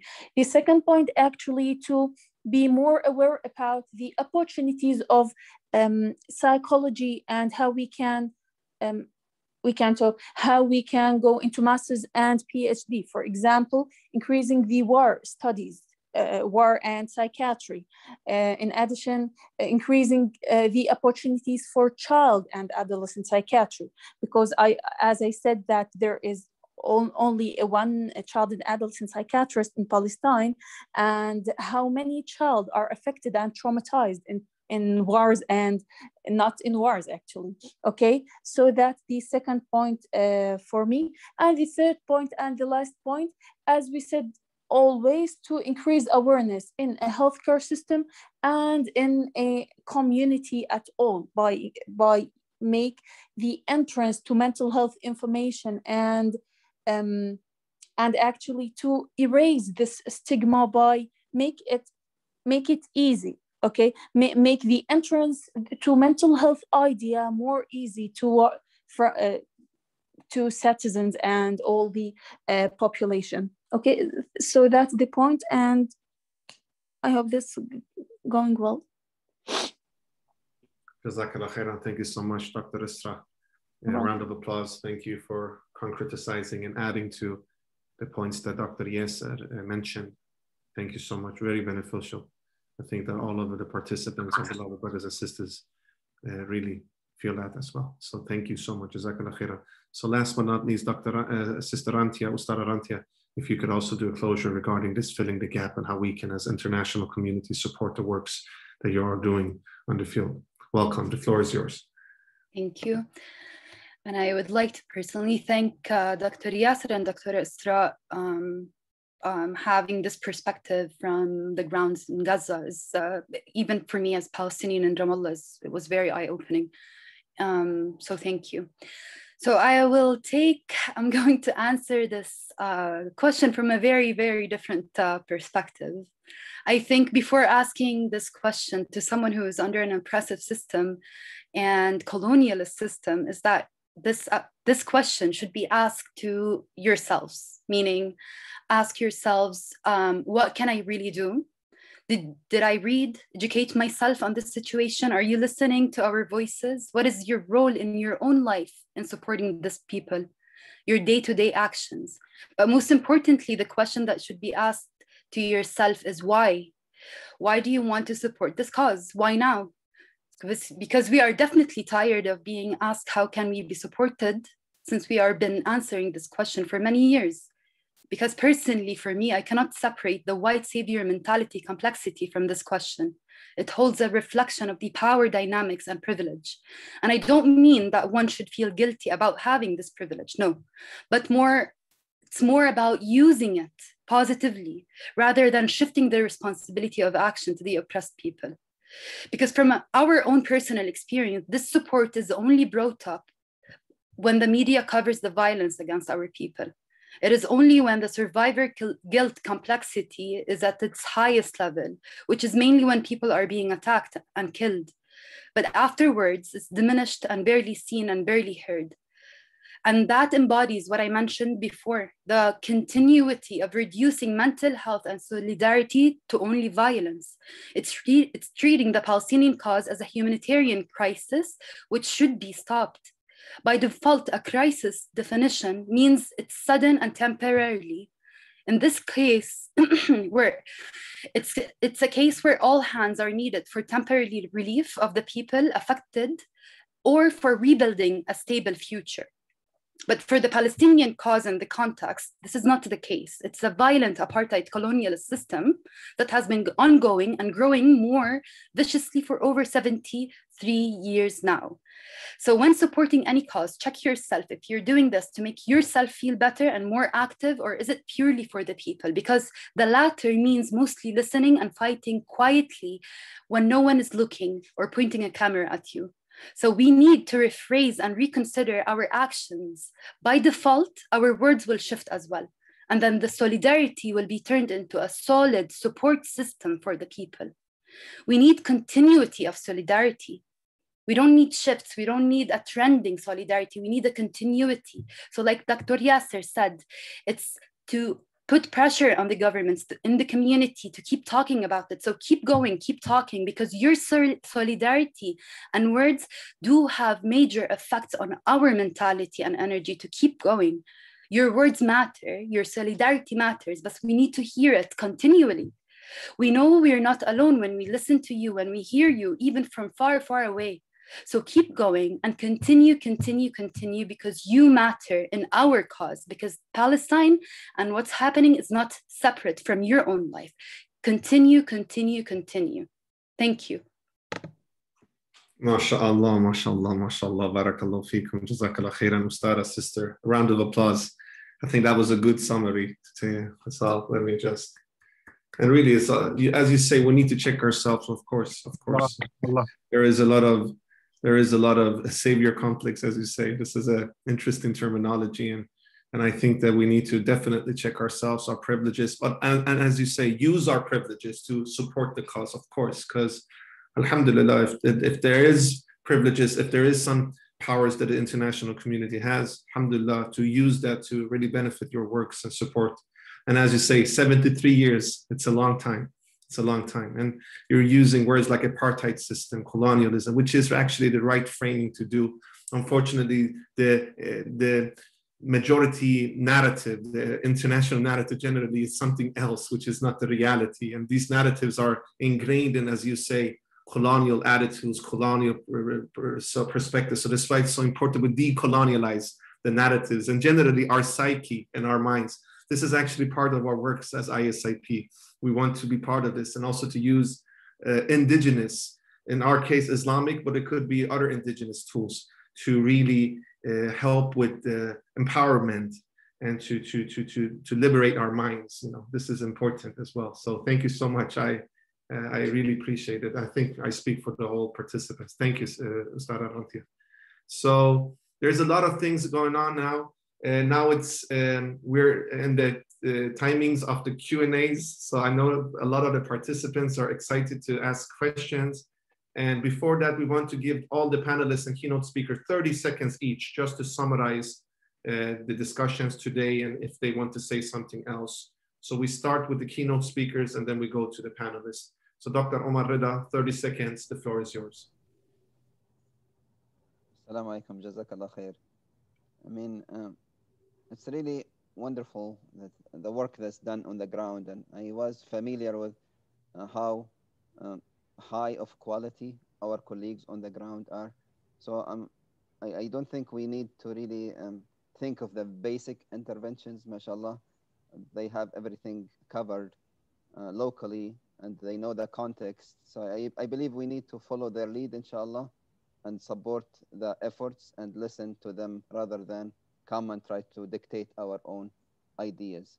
So I uh, totally agree with the inshallah supporting the local organizations and and uh, I know everybody has high, you know, good intentions and they want to help Palestine. You help the local people by listening to them. Thank you so much for that summary, Dr. Omar. Always an honor to listen to you. Jazakallah khairan. Round of applause to our beloved Dr. Omar. Uh, and we go, uh, we go next to uh, Dr. Walid. 30 seconds. The floor is yours. Thank you. Uh, I really would like to thank uh, everybody working in Gaza and providing uh, the best care they can. But I would like to send a message to our friends and uh, brothers and sisters everywhere in the world. We have to keep the Palestinian issue going on. And I would suggest that every Friday, after the Friday prayer, there should be demonstration everywhere in the world by, under the title Free Palestine. Not providing online CPT for uh, somebody in, in Gaza. That's uh, can be handled by Palestinians inside and outside. But the international support, especially the political support, will only come with continuous uh, public uh, demonstration uh, by Muslims, non-Muslims, everybody who can understand the Palestinian situation and uh, cannot accept the fact that this, uh, this land and these people have the right to live as everybody else. And some group who have collected themselves from all parts of the world called, called themselves Israel and occupied this land and going on with their occupation and going on with the destruction of everything the Pal Palestine have. I think this is uh, quite high on top of the list. And I'm sure everyone in his community, in his country, in his city could do something even very symbolic, but that will, uh, will collectively work. Plus the fact that you are all here and supporting uh, the Palestine. That's great, but we want it in the street and for the politician to hear it. Thank you. Barakallahu fikum, jazakallah khairan. Dr. Wali, thank you so much for this great summary and thoughts. Round of applause. Very honored to have you with us, mashallah. Thank you so much. Uh, so let's move to the panelists. So we start 30 minutes, 30 seconds to Dr. Yasser for a summary.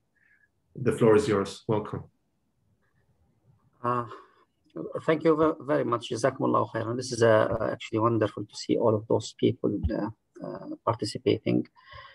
And uh, I hope that uh, really I, I, haven't disappointed some of the uh, brothers and sisters by saying that uh, you know we need something that is more advanced, but that's the reality actually on the ground. You know, uh, we have uh, the most intellectual people actually on, on the planet. We have the highest number of educated people within a population in, in Palestine the highest that have master's degree, the highest that have PhD degree when it comes as as you know as a uh, percentage to the total population. But uh, what we need, we need, uh, we need attention to be paid to the mental health sector. You know, as um, the panelists said that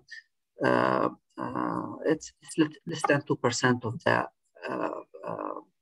budget that goes to health goes to mental health. This is really such a shame in a place like like Palestine. You know, when you know that everyone is really affected uh, one way or the other psychologically.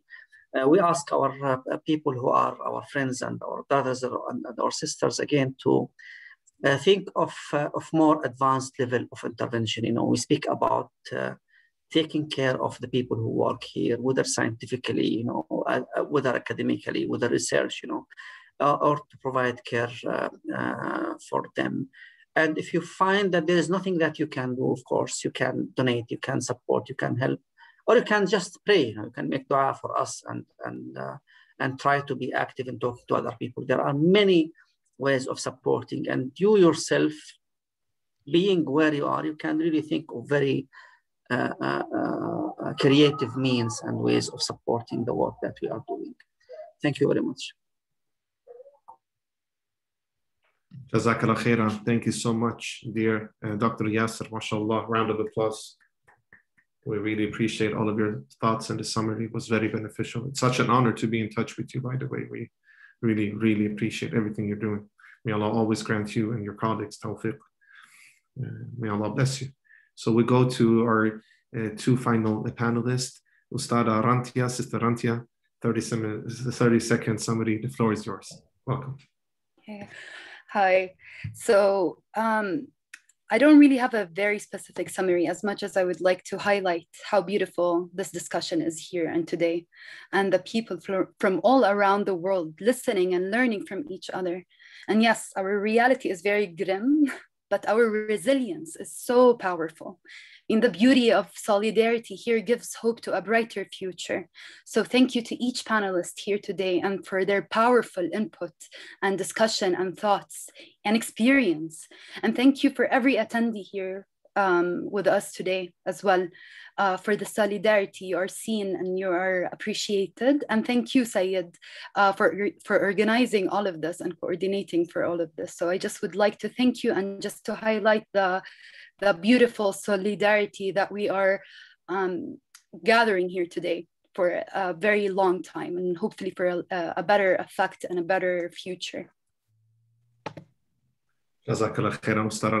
The honor is ours, really. It's our duty and pleasure to be with you. And thank you so much for a lot of the insights you gave to all of us with your excellent speech and uh, discuss, uh, reflections. Thank you so much. Round of applause to Sister uh, Ustada Rantia. Please, dear brothers and sisters. And distinguished participants. And last but not least, uh, uh, 30 second for a summary from uh, dear Dr. Israa. Uh, the floor is yours. Welcome.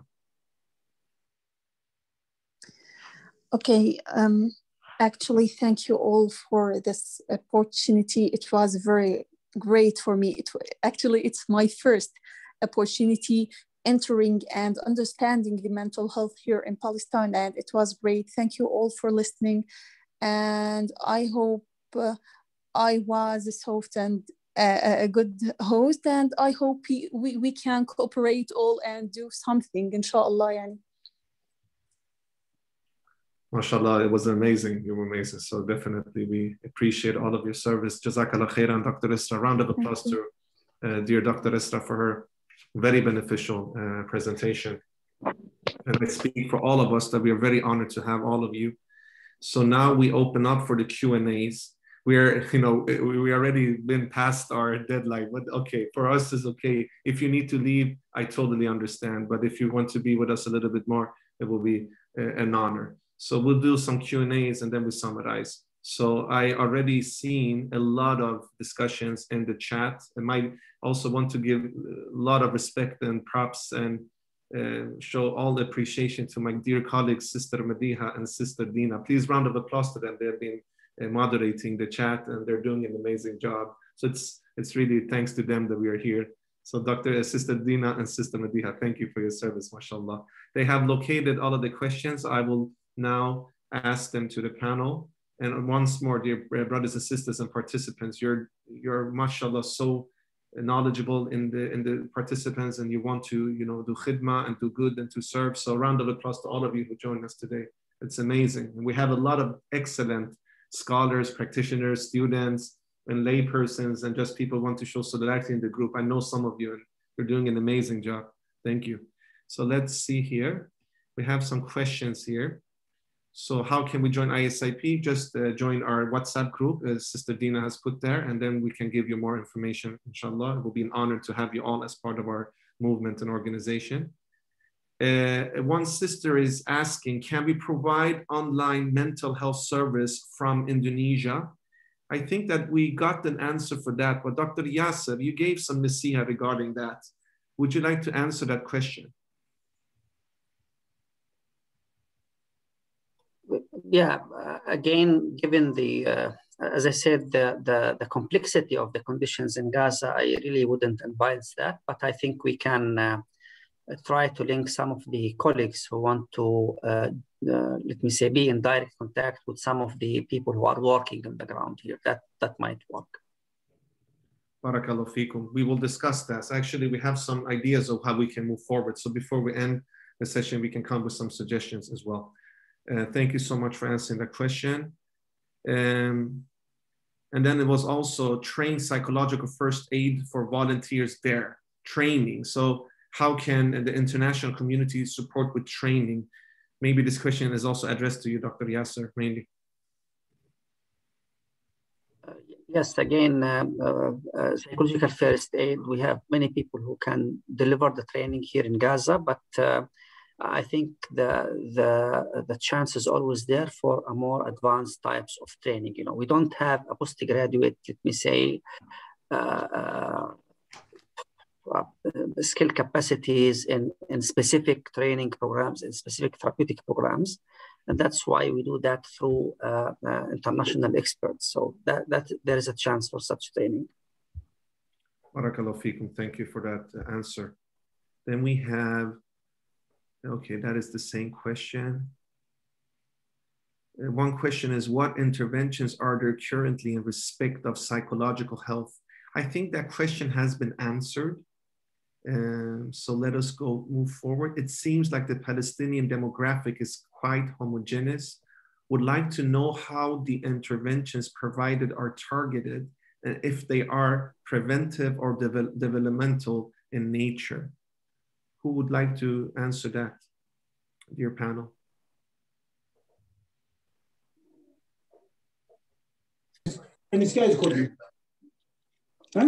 Okay. The, Yes, Dr. Yasser, please unmute your microphone. Yeah, the, the answer is a, a, little bit complicated. You know, we, we are under, the, all in, in Palestine are under the, the occupation. So, but the, the, the differences are different on the type of uh, uh, traumas that we are exposed to, you know, like within Gaza Strip, you feel free, but it's a big open air prison, you know. So it's uh, in, in, in, in, somehow better than the West Bank when you have a checkpoint every between every uh, city and the other one, but uh, at the same time, we cannot leave Gaza Strip, while perhaps in the West Bank it's easier to leave. You know, there, there are some differences, but in, in, in all things are pretty similar one way or the uh, uh, or the other. Uh, the interventions are at both levels, unfortunately. Humanitarian or crisis response that keeps happening all every now and then. And then, of course, we have that developmental aspect of it, which is like the training that we deliver, the training that we receive, for example, you know, and, and the research work that we are doing. Perfect. Thank you so much for that clarification, Dr. Yasser. So let's move forward.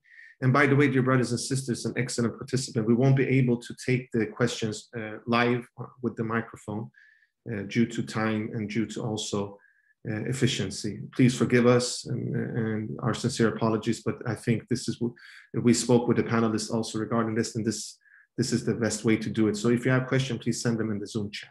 Thank you for your consideration. So there is a question here to the panelists and to the keynote speakers. I want to ask a question for undergraduate students like me. What can we do for Palestinian brothers and sisters? We are not qualified to make therapy, but we want to do something for them. What do ustads and ustadas advise us? So maybe that is a question that already has been addressed, right? I think that the last um, part of the panel, which was how can we fill the gap, answer that question. Is it something else you want to add? uh, dear panelists and keynote speakers to that question?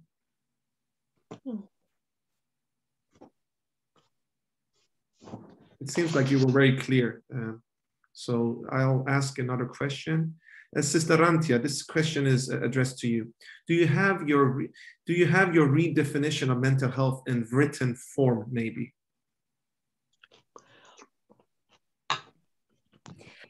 Um, not I do have it, I'm trying to um, edit the uh, article and publish it uh, soon, but it's also from my own personal uh, experience and analysis of the situation.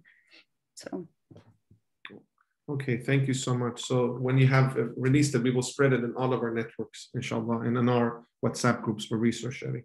Barakallah fikum. We were looking forward for that, inshallah, uh, Ustad.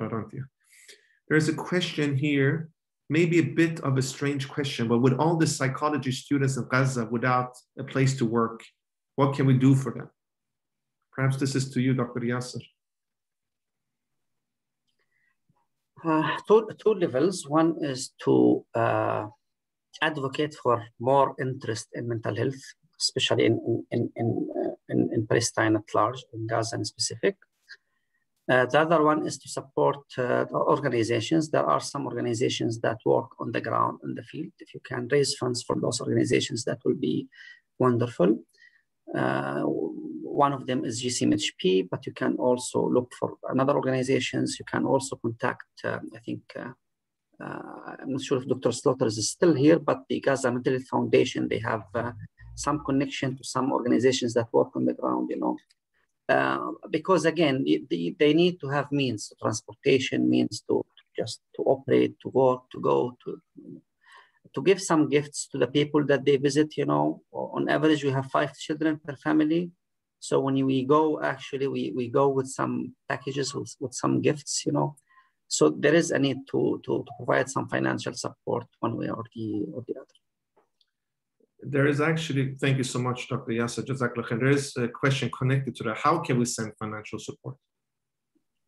Well, well there are uh, different uh, means. We, for example, uh, I work for an organization that is a national uh, non-governmental organization, we, we have uh, any entity that can raise funds, then they can, for example, uh, uh, transfer that donation to the organization, to the organization bank account. And that would be simply uh, against the receipt voucher that will show how the amount and then uh, some sort of agreement on what means you would like to support the work that we are doing. If you are interested in something specific, or if you are like just interested in supporting our um, annual action plan. You know? So, so these are the very simple uh, ways of doing it. But there should be an organization that could raise uh, uh, funds on behalf of GCMHP because in, in Gaza and in Palestine at large, this is something silly, but PayPal doesn't work, unfortunately, you know, doesn't work at all. So, so that's why we need uh, an organization. You know? If ISIP, for example, can raise funds, you know, and then that fund can come to GCHP, that's fine. And as organization, we receive funds from, from different countries in the world. So you do not need to worry between uh, brackets about sending donation to the organization because we receive from, from, from Norway, Switzerland, Sweden, uh, Germany, uh, the United Kingdom, uh, United States, you know, from, from whatever country you could imagine, you know. So, so there shouldn't be really a, a problem with that. Barakallahu fikum. That's very good to hear, uh, Dr. Yasser. And uh, Brother Bill has put uh, the link to your website, also gazamentalhealth.org, I think. Or it's maybe another website, but still, it's a very great website as well. Definitely, we will try to see how we can find ways to support. So before we end the meeting, we will tell you a little bit how we can move forward uh, to the participants. But definitely, thank you. And um, uh, Dr. Yasser's organization is a great organization to support really as an international community. It will be an honor for us to be part of that support team, inshallah. So let's, I will take a couple of questions more.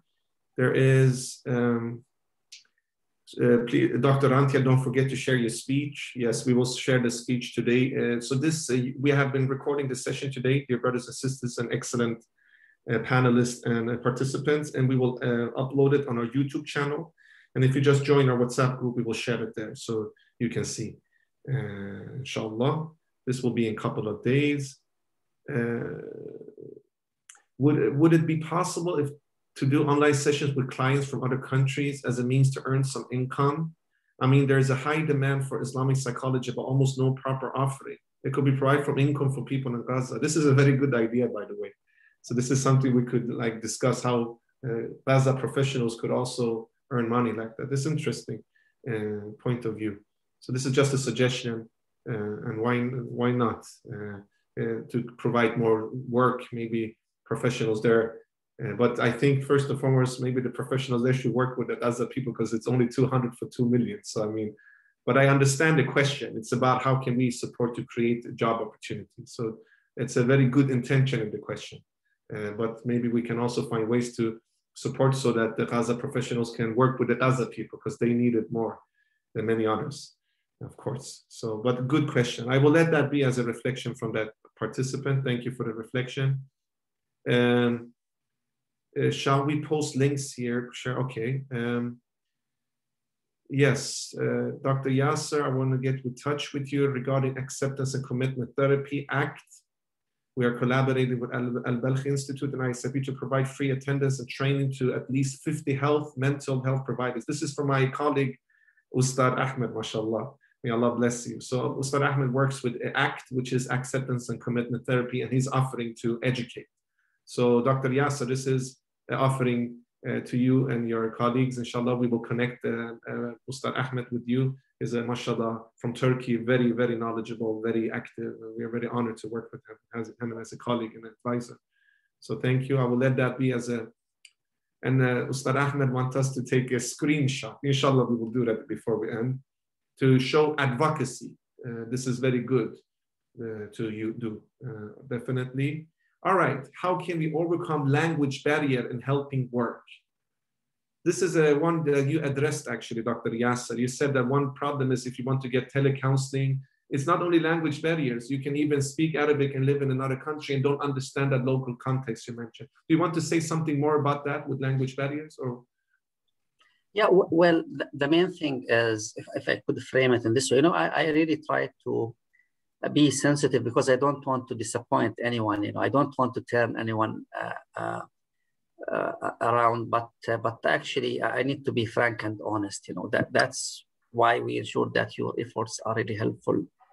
Uh, you know, for, for a person who lives in Gaza who is now in dire need for, for example, for some kind of psychological support, it will be important to him to receive that support rather than to explain how are things, you know, happening why it's happening this way, why it's not happening that way, you know, etc., etc., etc. So, so that's why uh, we say that uh, the, the help should all the time come from people who are really aware of how conditions are on the ground, who will spend time immediately or directly offering help rather than asking questions about how are things and how are things on the ground. So that's why we think that uh, the language could be a barrier, but also the different context could be a barrier, you know.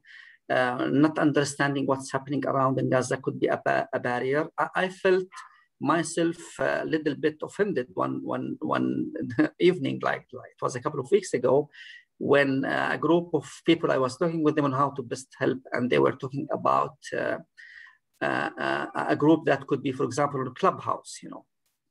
And, and that's something that I, I thought, well, what, what could I tell people who, who are skeptic about calling our toll-free line if you told them go and download Clubhouse and try to connect with the international community and find that uh, group here or there and then start talking to them, you know. So it's a little bit, uh, people are honestly trying their best to help, but sometimes it's it's not that best kind of uh, uh of help and of support, you know. Again, as as everyone is saying, talk uh, louder. Keep us in, in, in, in your minds and in, in, your prayers you know. You know even dr omar said for example that psychological first aid wouldn't be enough in gaza and i totally agree with him on that point. That's why they, they, it's like the, the door opener you know psychological first aid but when you visit then you start with the basic counseling you know. You, you, you look at the symptoms and you start to think what would be the problem and then you try to begin some sort of intervention to refer them to the best service that is available. So, but but it's easier to say that we are performing psychological first aid than to go into more details uh, of that. So, so this is in uh, in short. Jazakallah khairan, Dr. Yasser. Thank you so much for that clarification. We really appreciate it. This will be the last questions. And it's actually a question regarding also, I think, the religious aspect of it. So somebody is writing, suicide attempts are a constant rise in our valley. If somebody commits suicide, how do you combine the notion suicide at the same time it's haram, but at the same time it is also the result of extreme severe depression? I want to also address this question to you, Dr. Omar, uh, regarding this, as I know you're very knowledgeable also. And of course, uh, Dr. Yasser, Dr. Walid, Sister Rantia, and Dr. Israa, feel free to also. I may comment on that. Yeah, yeah, please, Dr. Walid. In previous uh, study for the International Federation of uh, Medical Islamic Society, I have uh, done uh, some research with a professor of fiqh and the answer to this, if somebody killed himself because of mental illness and is distorted, distorted uh, image of future and life, he's not considered to be sinful in, in any way. It's only sinful if the, if the person is like a drug addict, alcoholic, and uh, not really uh, doing it the, from severe uh, melancholic depression or schizophrenia or whatever. And the answer was clear by several examples. And these, uh, uh, these examples were clearly stated. Uh, so for the majority of cases, the, the, the scholars of religion will tell you that uh, mental illness uh, is not, uh, the man with mental illness is not responsible and cannot be blamed. And you just, you deal with him as usual, pray on his funeral and uh, the, the dua and so on as, uh, as everybody else. Jazakallah khairan for the clarification, Dr. Walid. And thank you for uh, doing that research and speaking with the, with the ulama regarding that as well. Thank you so much. Jazakallah khairan, very beneficial. It was Brother Adil from Kashmir who asked it, by the way. Actually, there is one doctor uh, in the participant field here who is from Gaza as well. Uh, we're about to end the meeting, but I would like to actually let him have 30 seconds. He's writing, Dr. Iman Faraj Allah. He is doing psychological work in Gaza and is born and raised in Gaza, lives in US, but his whole family is in Gaza. So Dr. Iman, uh, 30 second, one minute, please. Uh, you can unmute your microphone and just present your work, please. Jazakallah khair. Uh, it's a she, it's not a he, brother Seyed. Uh, oh, sorry. Can you hear me? sorry, I'm sorry. it's okay. Salam alaikum, uh, Dr. Yasser. Uh, me and Dr. Yasser, we know each other very well because, mashallah, he helped me in 2016 to conduct a research paper. Um, uh, and the research actually came up to 250 pages with pictures documenting the effect of the war on Gaza in 2014 and alhamdulillah it's very well received here in the united states. And i advise everybody highly i send actually the link to everybody. If they want to understand what is the impact of the war on gaza from the participants um, of the research the victims themselves please go ahead and read that research.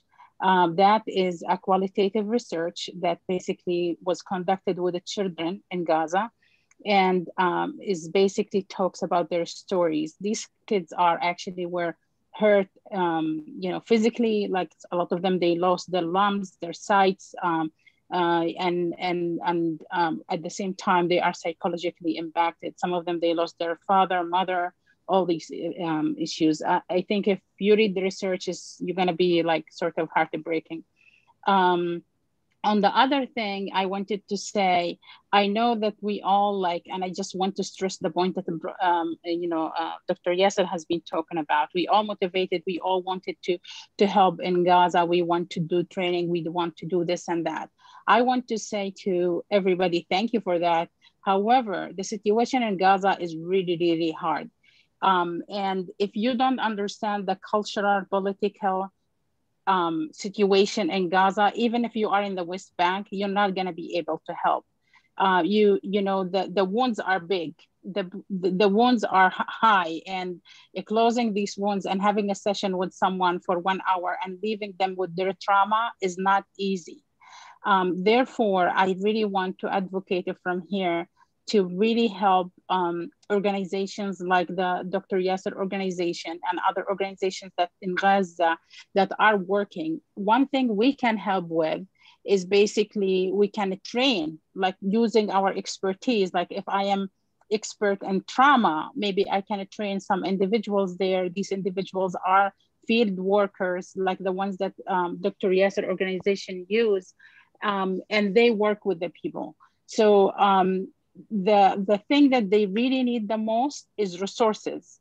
Resources are very, very limited. Right now I'm doing a PTSD um, training. And in order for me to conduct that, I have to come up with funding to buy internet, computer, uh, bags, uh, all that stuff. And these guys already like, uh, some of them are social workers, some of them, they study psychology, but they don't have the resources. We, we're not talking about big resources. They don't have the basic resources like a computer and internet and all that stuff. So I think the best thing we can do is to support them. They are, mashallah, smart, active, and they know they know what to do at the same time when they work with the clients up there or with the people of gaza then they are they are not the clients are not left alone after the session if there is an activation of the trauma then they have a place where to go. They know that they can dial an 800 number to seek the assistance. We cannot just like from the united states or europe just like have a session and just then go about our life and hang up the phone and then these guys have no support. Therefore uh, um, organizations like um, you know uh, gaza program can provide the support when it's needed. When you activate the trauma and in, in one session or two sessions and you turn your back and you walk a, away the client have a phone to call and say hey you know what? I need more help. I need someone to come. And i know that actually um, dr yasser organization even they do home visits is really important. I mean, I was myself, I lived in Gaza and I know how, how bad is the trauma is there. I faced it myself when I went there in 2016, it was worse. And I'm guessing right now, like also in 2021 is the worst it can be. Thank you so much. Thank you so much, Dr. Iman. Uh, sorry that I said he, of course, it's the she. Um, so uh, round of applause to Dr. Iman. Thank you for taking this uh, time to share your reflections and work. And mashallah, you added a lot of great, great perspectives to the panelists. So thank you. Thank you so much. Next time we will invite you also to the panel. Of course, your perspective and know-how is so important. And please forgive us, Dr. Iman, that we uh, didn't know about your work since before. It's my and our fault. My sincere it's okay. apologies. It's, alhamdulillah. Jazakallah khair. We all start somewhere we have I, I published some work also on Gaza that I'm more than I'm more than happy with Stanford um, yes. University that yes. I'm more than happy inshallah to share. Jazakallah khairan. Jazakallah khairan. Thank you so much and definitely share. Definitely join our groups and share. We would love to see more about your great work and thank you for your khidman service, dear Dr. Iman. We really appreciate it. Round of applause again, please, everybody. Thank you so much. So with that said, dear brothers and sisters, excellent participants, I want to thank first and foremost our keynote speakers, Dr. Walid and Dr. Omar. I also want to uh, thank our panelists, Dr. Yasser, Ustada Ranti, and Dr. Israa. Round of applause, please. I want to thank my colleagues who have been doing the posters, marketing, also administration today. I want to thank uh, Sister uh, Amna for doing the poster, Sister Fatima Ahmed, one of the co-founders of ISIP, for always doing such a great work. Sister Mediha and Sister Dina for the administration today. Excellent work. I also want to thank all of the participants, beloved brothers and sisters, excellent scholars like Dr. Iman herself and Dr. Ahmed and many other great scholars, and all the great students and clinicians and practitioners from all parts of the Ummah. I think we have people from Indonesia, Malaysia, until United States and the whole world Thank you for joining. Thank you for your great engagement. Thank you for all your great discussions, reflections, and questions. Please forgive me personally as a moderator. I'm a person with a lot of error in my character. If I have said anything, done anything, organized anything wrong, all the fault is mine. All the fault is mine. I'm a person without an error. So please forgive me, brothers and sisters. Have have uh, and all the good things that we have done is from Allah subhanahu wa ta'ala, has nothing to do with us. So my sincere apologies if I have done anything wrong and if we have done anything wrong. Last but not least, I will put my email also in the chat. What we want to do now, because we have so many skills and uh, people that want to do khidma. First, uh, please uh, join the WhatsApp groups for resource sharing. We will also offer the, the recordings and all the contacts to the panelists there. Secondly, some of the panelists have written their contact info, so take them, contact them. And there is some sites like the Dr. Yasser site and Facebook, Sister Rantia's Twitter, etc. We will arrange all of this and send it in our groups as well for you to benefit. We will do a pamphlet and take some of the points from Dr. Yasser, uh, Dr. Walid, uh, Dr. Israa, and Sister Rantia. We put it in the pamphlet so you can easily know how you can help and support the best way as possible. Please spread the recordings to all of your networks so more people can benefit from all of the thoughts from our great uh, panelist and um, keynote speaker, including actually Dr. Uh, Dr. Iman, who I now see as a keynote speaker and a panelist as well. And uh, last but not least, we are trying to create a, a group. So we are, we are uh, as ISIP together with Al Institute. Also, we have spoken uh, with some initiatives that's going on already. Dr. Azam, one close uh, colleague of mine from Canada, is starting an initiative where Dr. Israa is part of. So we're trying to unite the initiatives now so to, to, create a group to see how we united with, you know, whether we are layperson, practitioners, scholars, whether we represent different institutes or organizations, how can we unite to support all of these things that our panelists and keynote speakers have discussed. So email me if you want to be part of that group, whether it's your organization, your institute, you as a private person, uh, and then we can take it from there. We would love to organize this with other organizations, other initiatives. We see a lot of great organizations in Canada, US, UK, Indonesia, Malaysia, South Africa, uh, the Middle Eastern country. My colleague Ustad uh, Wissam did an amazing session last week. We spoke regarding how we can support from the Arab world regarding Palestine, Syria, I think even Yemen and war, war zones. So uh, Ustad Wissam, thank you for your great work and service. So we want to unite initiatives and go together as one uh, to, to really benefit from our initiatives. So all of your initiatives, organizations, there is a sister in US creating a group for advocacy.